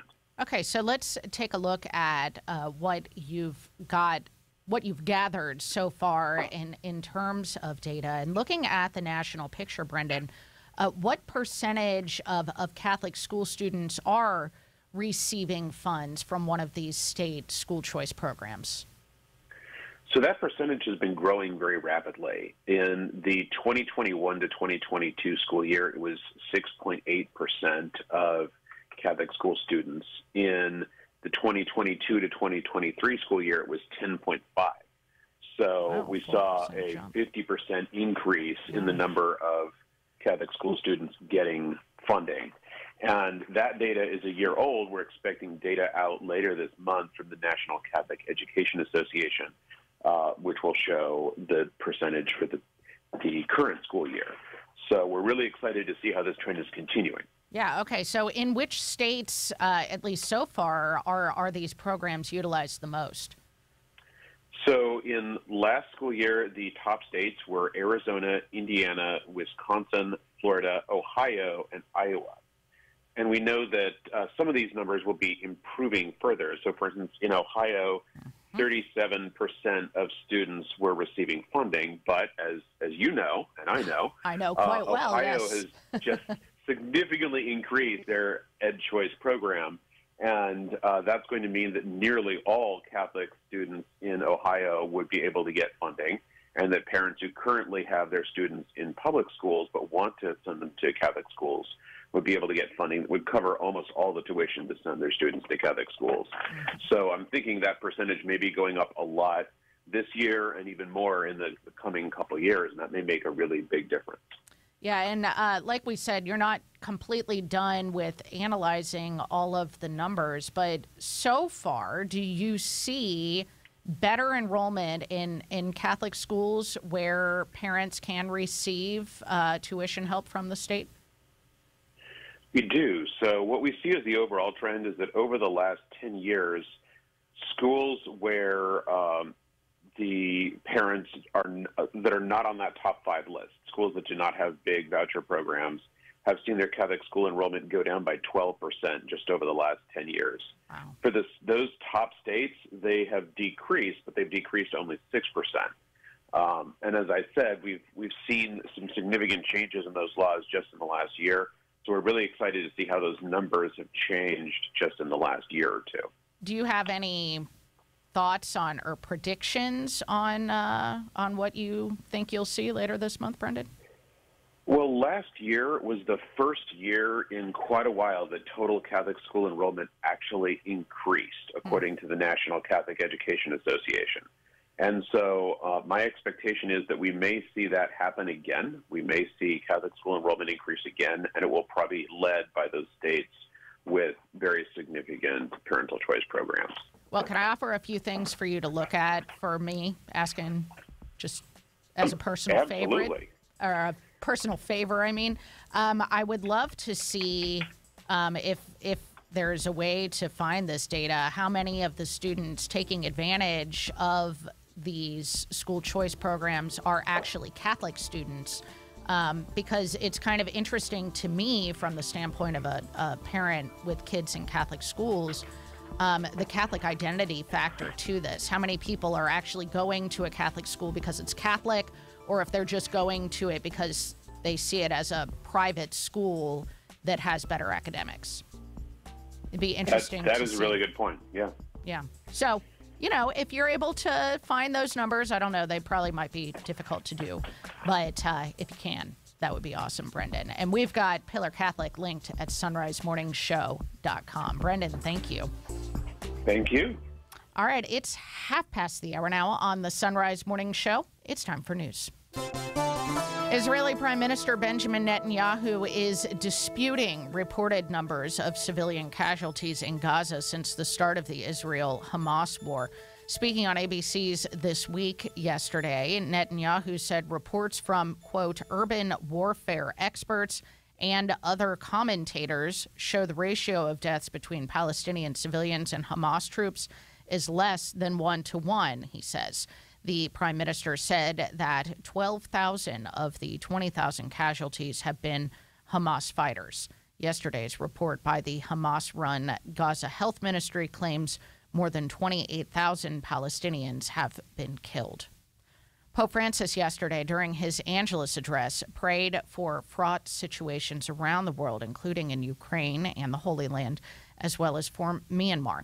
He did so while he promoted the World Day of the Sick on the Feast of Our Lady of Lourdes. He says it's not possible to keep silent about the fact that, quote, there are so many people today who are denied the right to care and therefore the right to life, end quote. In his Angelus Address Catechesis, the Holy Father reflected on the Sunday Gospel reading, encouraging the faithful to convert every day to the loving, compassionate God that Jesus presents to us in the Gospel. From Vatican Radio, Lisa Zengarini reports. Pope Francis remembered that the Gospel on the healing of the leper offers us an example of Jesus' style with those who suffer, few words and concrete actions. Tante volte nel Vangelo The Pope recalled that we see Jesus behave like this several other times in the Gospel when he heals the deaf and dumb, the paralyzed, and many other needy people. He always does this. He speaks little and promptly follows his words with actions, said the Pope. But Francis went on to note that we can meet his wonderful way of loving also in some people we encounter in our lives, generous in action, reluctant to show off, but ready to be helpful, friends to whom we can ask for help. This concreteness, the Pope remarked, is even more important today in a world where an evanescent virtuality of relationships seem to be increasingly prevalent. L'amore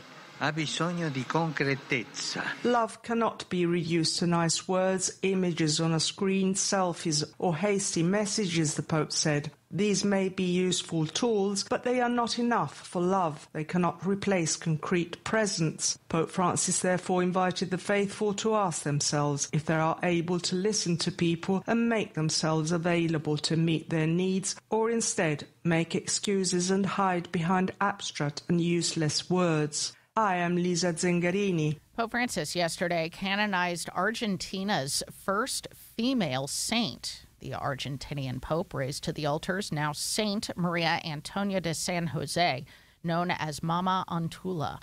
In his homily, the Holy Father said when the Jesuits were expelled from Argentina, the Spirit lit a missionary flame in her based on trust in providence and perseverance. He said, quote, she was a wayfarer of the Spirit. She traveled thousands of kilometers on foot, crossing deserts and taking dangerous paths, bringing God with her, saying, Today, she is a model of apostolic fervor and audacity for us. Two people have been injured, and the shooter is dead following a shooting at Joel Osteen's megachurch in Houston. The woman entered the church yesterday afternoon wearing a trench coat and backpack, armed with what authorities called a long rifle, and began shooting. Two off duty officers then engaged the suspect, striking her. Homeland Security Secretary Alejandro Mayorkas has acknowledged the immigration system is broken. Mark Mayfield reports. Speaking on NBC's Meet the Press, Mayorkas claimed Republicans didn't even read what was in the bipartisan Senate border bill before striking it down. House Republicans are accusing Mayorkas of breaking the law in his handling of the southern border. Another impeachment vote is expected this week after last week's vote failed in the House. Mayorkas calls Republicans' allegations baseless. I'm Mark Mayfield. And the Kansas City Chiefs are back to back Super Bowl champions, coming back from behind in overtime to beat the 49ers 25 to 22 in Super Bowl 58. That's the news. It's 35 past the hour. The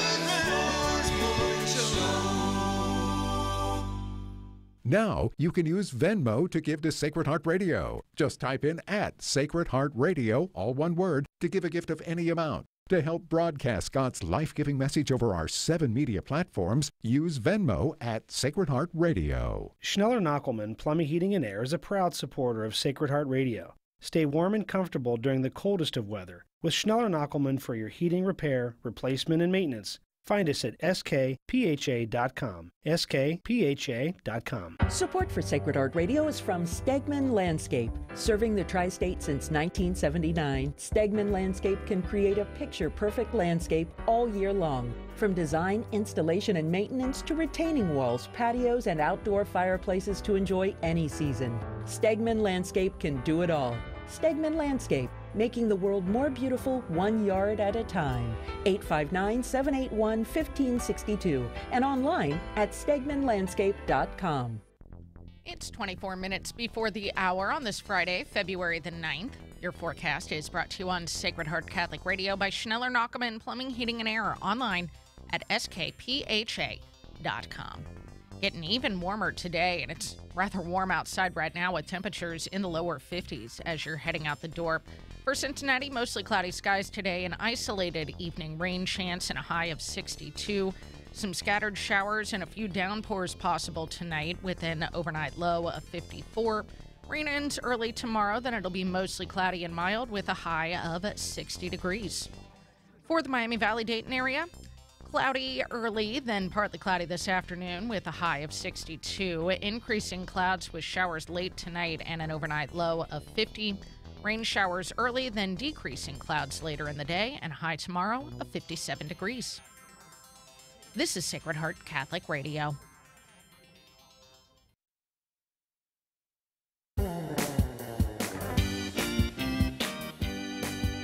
Sunrise Morning Show continues, as does our series with Bear Woznick on his book, 12 Rules for Manliness. Where have all the cowboys gone?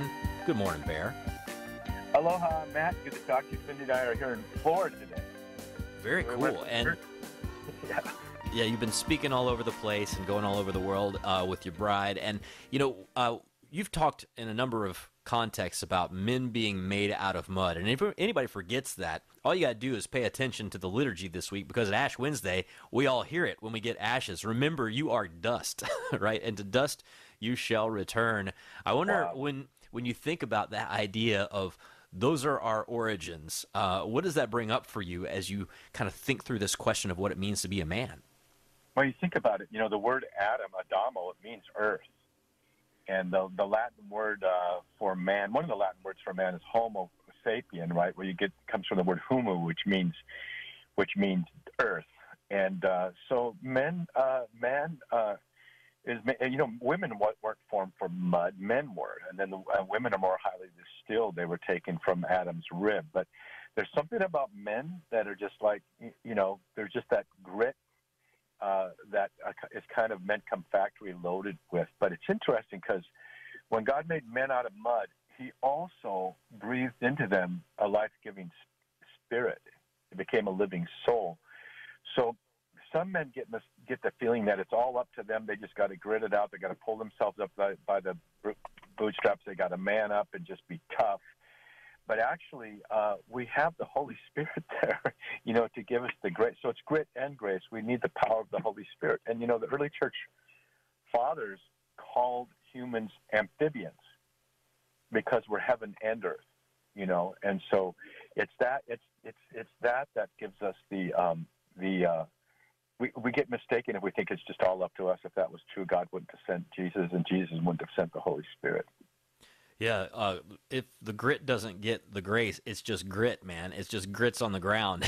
you know, I can't help but think, you know, since you uh, invoke Louis L'Amour and, and, cowboy novels in your in your book, uh, the uh, the great one of the greatest novels uh, of that genre is Charles Portis's book True Grit, which has been made into not one but two different movies. And yeah. you know, grit is one thing, uh, but without the grace, man, it's just a pile of dust. Yeah, you know, it's cool when when when in, in Corinthians when Paul says, "Act like men." But then he says, "Do all things in love." In the next sentence, so it's not about this macho stuff at all. But men do need to be tough you're, you know, I was t- talking with my bride Cindy yesterday, and I said when a man, when the Bible says that when when we talk about men are the providers and they're also the protectors. Well, you know, when you provide for your family, uh, you are that is a big part of protecting them. You know, providing shelter for them and things like that. But we we as men, um, uh, there's a there's a there's a softness to men these days. Uh, uh, they, they they feel like life owes them a living, that they want to be taken care of, and we we act like we're victims instead of victors. And uh, when I remember, uh, you know what, and when we face adversity, we think, oh, that's not fair. But really, the Lord allows that adversity in our life, uh, and when we but when we turn in that adversity into trusting into God, then that's the greatest adventure of all. You know as a as a person in the new evangelization that how many times have you faced adversity but you just kept the faith and kept going and then you saw the the walls come tumbling down and you saw God, you saw God go out in front of you and move mountains well, and this is another thing that's such an interesting point to reflect upon as we're in this season of Lent, which on Ash Wednesday starts with Jesus saying, Hey, do all this stuff, but don't try and get credit for it or it's going to be for nothing right? You'll have yeah. your reward. And i think part of where that comes from part, part of what makes us soft part of what makes us not do well with this adversity is we want recognition for every good thing that we do right? But going back to that idea of dirt uh, that same word that you get that huma uh, is, is connected to the word humility right? Oh, so part of this so is not doing it because we we're getting credit or not doing it because we're getting recognition or not doing it so that at the end of the day we can say I did this, right? But it's, having it's the humility so, to understand how it all works together. And when you're doing that, when you whatever you're doing, that's really cool. That you're doing good at. It's probably because God gave you that gift and ability and a charisma. Not just you, probably, Bear. right? But I mean, you did cooperate with God to yeah. develop it. But you know, when it comes to pride, saying, "Look at what I just did," I remember I was I was uh, dropping in on this big wave. You know, the, you know, surfing and piling in real, really on a big wave with my stand-up paddleboard and uh, dropping and leaning way forward, and there's people coming by on a catamaran, and I go, these people are going to think I'm so awesome. and I just and my paddle broke and I face planted on my board and went triple falling over. So remember, pride comes before the fall. So uh, whenever we think we're all that, you know, the beautiful thing is we can count on God to to humble us. You know, if we don't if we don't seek to be humble, God will God has a way of letting that happen to us anyway. Yeah, anybody faithful. who thinks that they're all that in a bag of chips is probably just a bag of chips. So yeah.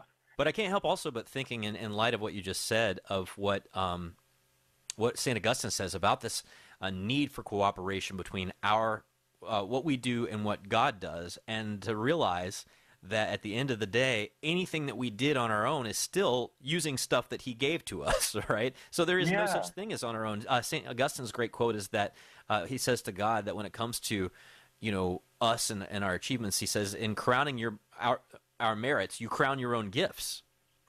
Yes, and the gifts come from the giver, you know, and and it all comes, you know, and then you die. So what is all this recognition and all this wealth and all this glory, you know? We, we you know, we, like you said in Ash Wednesday, from dust we come, from dust we will return, you know. And so, just to remember that. But men, we women uh, want you to be men. They want to see that grit. They want to see that strength. But you also have to have that grace uh, that you not only does God give you grace, but you need to give grace to those around you and not expect them to be as tough and as enduring as you are, but but to but to be there for them. And men need to lift women. Men need to lift their children and then love them and give them grace. But God God gave you that. God gave you that brawn. Uh, not only physically, but in your soul, the way a man is made. So, so uh, use it, use it, uh, it with all humility, and use it to lift others, not yourself. Yeah, God took the dirt and he breathed his spirit of life into it. But it turns out he actually made the dirt too. So uh, yeah. there you have it. Oh, a little you know, thing like that. Oh, yeah, yeah. Well, and as as we always said growing up, Bear, God made the dirt, and the dirt don't hurt. My wife's got a big grin on her face. You know, and I was always the kid in the neighborhood that was just filthy. I don't know. I'd be playing in the dirt, and I'd be playing with a friend of mine, Earl. He'd play in the dirt with me, and he'd get up. He wouldn't have a, a speck of dust on him, and I just looked like I'd been, you know, just rolled rolled through the. Well, I was. I was rolled through the mud. But um, Bear was that second grader on the block with mud circles around both his nostrils, and we all know why. And here's the way it works. You know, when you get those pants that are too long, so you can grow into them over a, over a full year period. Oh, you rip up your those mu- cuffs? Well, you, yeah, your mother roll up the cuffs, and then and then you walk in the house, and you're just trailing dirt behind you as you walk in. Those cuffs make great dirt holders. Well, the book is called 12 Rules for Manliness, and it is by Bear Woznick. We encourage you to, uh, to go check that out. We've got a link to Bear's site as well, where you can find all kinds of stuff and connect with other men uh, as well. Bear, thank you as always. Have a wonderful day. Mahalo, Matt. All right. We're back with Stephanie Mann here in just a moment. It's a quarter till. Support is from Solidarity Health Share. Do you have an insurance plan that pays for everything, even things that violate your beliefs? Have you ever felt there has to be a better way, but didn't know you had any options? If you answered yes, I've got some good news for you. There is a better way and a more affordable way. Solidarity Health Share can save you hundreds of dollars each month while actually supporting your beliefs. Because the best news is that Solidarity Health Share costs a whole lot less than insurance. It's time to jump in and put your money where your faith is and put some money back into your wallet at the same time. Join Solidarity HealthShare, a faith based healthcare sharing community. Prices start as low as $384 a month for families.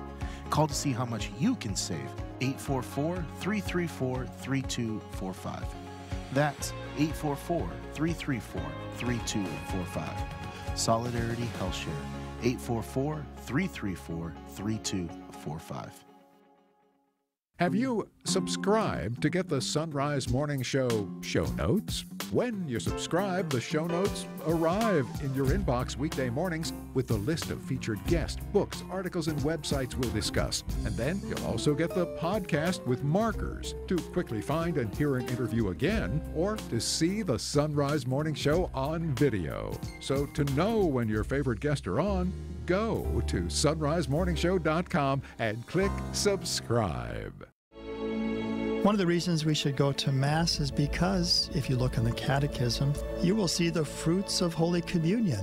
And these are remarkable things that we can receive at every Mass that we attend. We encounter the risen Lord, and He shares something of His divine life and love with us. The Holy Sacrifice of the Mass, live from the E EWTN Chapel, every morning, 8 Eastern, on E EWTN Radio and Television.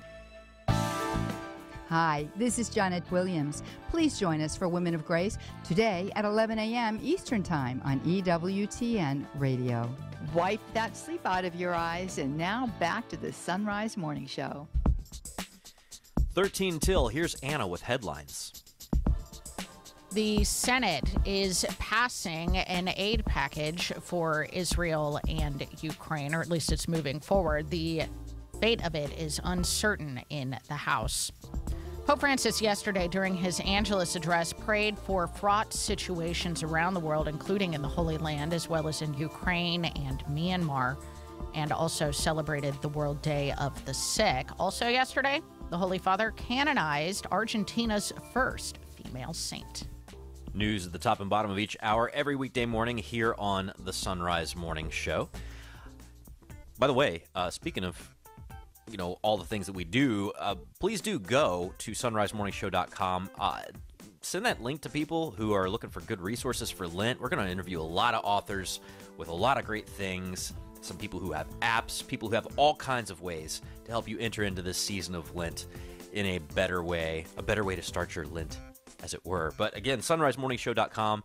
Find lots of great links to authors. Find a downloadable uh, set of cards that you can give out to people to tell them to switch to Catholic Radio for Lent. I'm Matt Swaim, joined now by Stephanie Mann. She is online at supremacyandsurvival.blogspot.com. That's also the name of her book, Supremacy and Survival How Catholics Endured the English Reformation. Stephanie, good morning. Good morning. Go Chiefs. I'm betting that you, as a person from Kansas, even though uh, the Chiefs are not you're right. technically in Kansas, are pretty excited this morning. Did you stay up? Yes. Yes, I was there to the bitter end. Or, no, to the glorious It wasn't end. bitter for you guys. It's only was- bitter for the Niners. No, it was so- it was nerve wracking though. It was yeah, it was fun though. It was well matched, a very well matched game. Yes, it was. Well, we come straight off of the Super Bowl Yes. and chicken wings and nachos, uh, right smack into Mardi Gras if you're in the French tradition, but a lot of interesting food feasty days in the English tradition as well before we hit Ash Wednesday. So Uh-huh. tell us a little bit about Shrovetide, where that word comes from, and what England Right. is known for doing historically to prepare for Lent. I think in a way it's Shrovetide among all the names, the Mardi Gras, the Carnival, the Fasching that's in, in Germany. Uh, Shrovetide really kind of fits more with the purpose of the season. As part part of it was to get kind of all the well, get the meat and festivity out of your system and out of your larder in, in the the different systems uh, uh, and different traditions that we, you recounted. But in England, the fact that they use the word Shrovetide means they're focusing on one aspect, particular aspect of this, and that is confession. To be shriven, or to to and shrove, those are words derived from the English uh, word for going to confession, going to the sacrament of, of penance, preparing for Lent by going to that sacrament, confessing your sins, maybe receiving some guidance on what you need to do to avoid those near occasions of sin and, and committing those sins again, and then preparing for Ash Wednesday and for uh, the the whole season of Lent. Part of it was indeed getting rid of eggs and meat and milk and and all those things that you did not consume during Lent. And uh, so there's the tradition on actually t- on Monday was collop Monday, meaning you, you used up all the meat you had, all the bacon, all the ha- pork or anything you had that you you've kind of fried it all up and just uh, took care of it. On Pancake Day or Shrove Tuesday, that was the day to use up your eggs and your milk. And so one of the ways to do that was to make pancakes. And so uh, that was part of that tradition is use up those things so they're not in your larder. Uh, don't let anything go to waste, obviously, but that way you're prepared to practice your you know, the abstinence and the fasting that's appropriate to Lent. And so that, those are part of that English tradition. But again, part of the emphasis is on going to confession. So you're pre- preparing both, you'd say, practically and spiritually in Shrovetide. Indeed, you know, and I've uh, every year for about the past eight years, you know, put out on social media. I would love it since you know we, you and I, Stephanie, live in a English colony that got its independence a couple hundred years or so ago. That Yeah, uh, we should reclaim some of these English Shrovetide traditions. So, if the U.S. bishops, if any of them are listening, I, I would love it if Bacon Monday could be something more of an official observance. Pancake Tuesday as well. But I do think that this reminds us, uh, you know, there are people who, I mean, I think we notice it more in like New Orleans, where Mardi Gras is like its own season Yeah. and everything. That like, that they may not necessarily connect the concept of Mardi Gras and the party with the Lent that's supposed to come afterwards. That these th- these two things are meant to complement one another. They're meant to go hand in hand. Yes. In fact, you know, speaking of the Mardi Gras and sometimes the excesses that come with Carnival and those kind of celebrations, that's one of the reasons that there began a tradition of having 40 hours adoration, that devotion of having the Blessed Sacrament exposed on the altar with many candles uh, around it and having someone in, in before the blessed sacrament for 40 hours starting on what used to be called quinquagesima sunday the sunday before ash wednesday through uh, into tuesday before ash wednesday so that there was a, a kind of a, another place to go other than the streets and rabble rousing and, and uh, enjoying yourself too much maybe having some regrets the next day you could go to before the Blessed Sacrament and pray there. And sometimes they, I mean, they have a massive exposition and then a massive of deposition to to uh, also celebrate. But that's one of those traditions that came out of someone getting that uh, out of balance and, going too far. You know, you don't really want to have something to confess on Ash Wednesday. No, you're not. Or Shrove Tuesday. You're not. You're not. So- uh, I mean, bear in mind, we're calling these Shrove Tuesdays, not like uh, Sin Tuesdays, right? The goal is not Right, to do horrible things, as many horrible things as you can before Lent hits. It's uh, really just to kind of clear out the pantry so that uh, you're not tempted. So, uh, but I'm uh, always curious, and you bring this up every year as well. Uh, about you know you live in Wichita. How far are you from Yes. Liberal, Kansas, where they have the International Pancake Day race? It's about uh, 150 miles. It's out. It's in southwestern Kansas, so it's it's a ways from Wichita. Yeah, well, uh, if you yeah. could let people know how Yeah. that goes down. Well, actually, of course, it's even further from the the, the uh, location that that uh, began the tradition. In Olney, England, uh, and this is uh, uh, this pancake races are celebrated in other places in England, but Olney, England, is the one with the large, uh, longest tradition because a a housewife was preparing her pancakes, and she heard the bells for the last time to to get in line for confession, and so she ran out of her house with her apron on, a kerchief over her head, you know, because women covered their heads in mass and church, and her pancake still in the pan in hand, and ran to the church so that she could participate in confession. And so there began a tradition of having these pancake races, and the part of the rule is that that you have to flip the the lady. It's only ladies. You can only in in uh, only particularly I think in other places they have, have a pretty strict rule that you have to be local and you can't have won the race more than three times. You can't run again if you've run that often. But you have to flip a pancake at the beginning of the race. You run a certain distance, run back, and flip the pancake again. And more more than since 1950, the ladies in Olney England have competed with the ladies of Liberal Kansas in the International Pancake Day races. So, uh, of course, England's uh, uh, race time is uh, is uh, t- before ours. You, you'd say because of the time zones eh, here in uh, Kansas. But yeah, they, they run the race, and whoever scores the best time wins. So we'll have to find out later today who won this year. But I think they're pretty much equal. Because after you know that many years, it's going to even out. The averages are. But I would yes, think so. This is a celebration.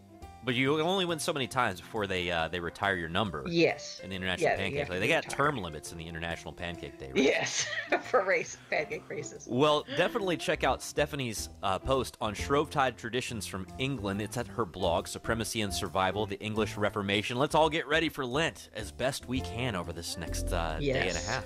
Stephanie, thank you so much. Have a wonderful day. You too. Thank you. God bless you. Again, all the guests we talked to, you can find their resources and links and pages at sunrisemorningshow.com. We'll talk to you tomorrow on Fat Tuesday. May God bless you and keep you and grant you his peace. I'm Father Rob Jack. Join me this afternoon for Driving Home the Faith, when Monsignor Peter Vaccari will discuss the Catholic Near East Welfare Society. Dr. Gerry Crete will talk about his new book on anxiety entitled Litanies of the Heart.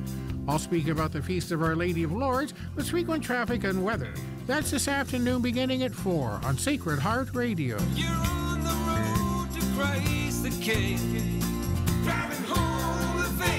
You rely on your car, so rely on the experts at Fort Mitchell Garage, a proud supporter of Sacred Heart Radio. They can do it all from brakes, tires, and heating and cooling to towing and collision repair and more. Fort Mitchell Garage on Dixie Highway in Park Hills. On the web at fortmitchellgarage.com. St. Vincent de Paul, Northern Kentucky understands the importance of a helping hand when life becomes difficult. Through the grace of God and the amazing generosity of volunteers and donors, St. Vincent de Paul, Northern Kentucky has been able to provide over $200,000 in rent and utility assistance to nearly 2,000 neighbors in need in the last 12 weeks alone. The prayer is to continue to faithfully serve those in need well into the future. To learn how you can help, visit svdpnky.org and follow along on social media. Support for Sacred Heart Radio is from Hoting Realtors. Equipped with the latest technology and market knowledge, Hoting Realtors can make the buying and selling process easier. 513 451 4800 and Hoting.com. I'm Emily Mackey, inviting you to an inspiring event for the pro life community, a pro life gathering for her. I'll be there to discuss theology of the body. Joining me will be pro life advocate Rebecca Hagan and Donna Murphy of Heaven's Gain Ministries. The day includes Mass, confession, and lunch. It's Saturday, February 24th at St. Susanna Church in Mason, brought to you by Cincinnati and Dayton Right to Life. For tickets, cincinnatirighttolife.org. That's cincinnatirighttolife.org. Wimberg Landscaping, a proud supporter of Sacred Heart Radio, has been beautifying properties for over 40 years. Wimberg offers professional one stop landscaping services from initial design and installation of all plant materials and hardscapes to ongoing maintenance, including lawn service, leaf and snow removal.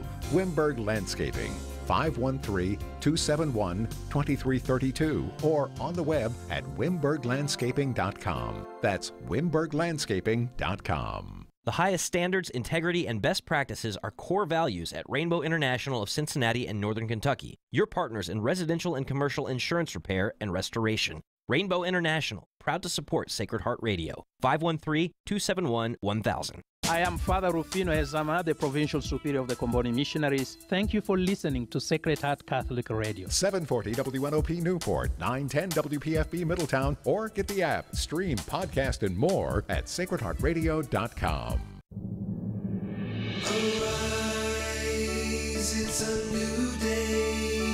Hear his word, let us pray the sunrise morning show.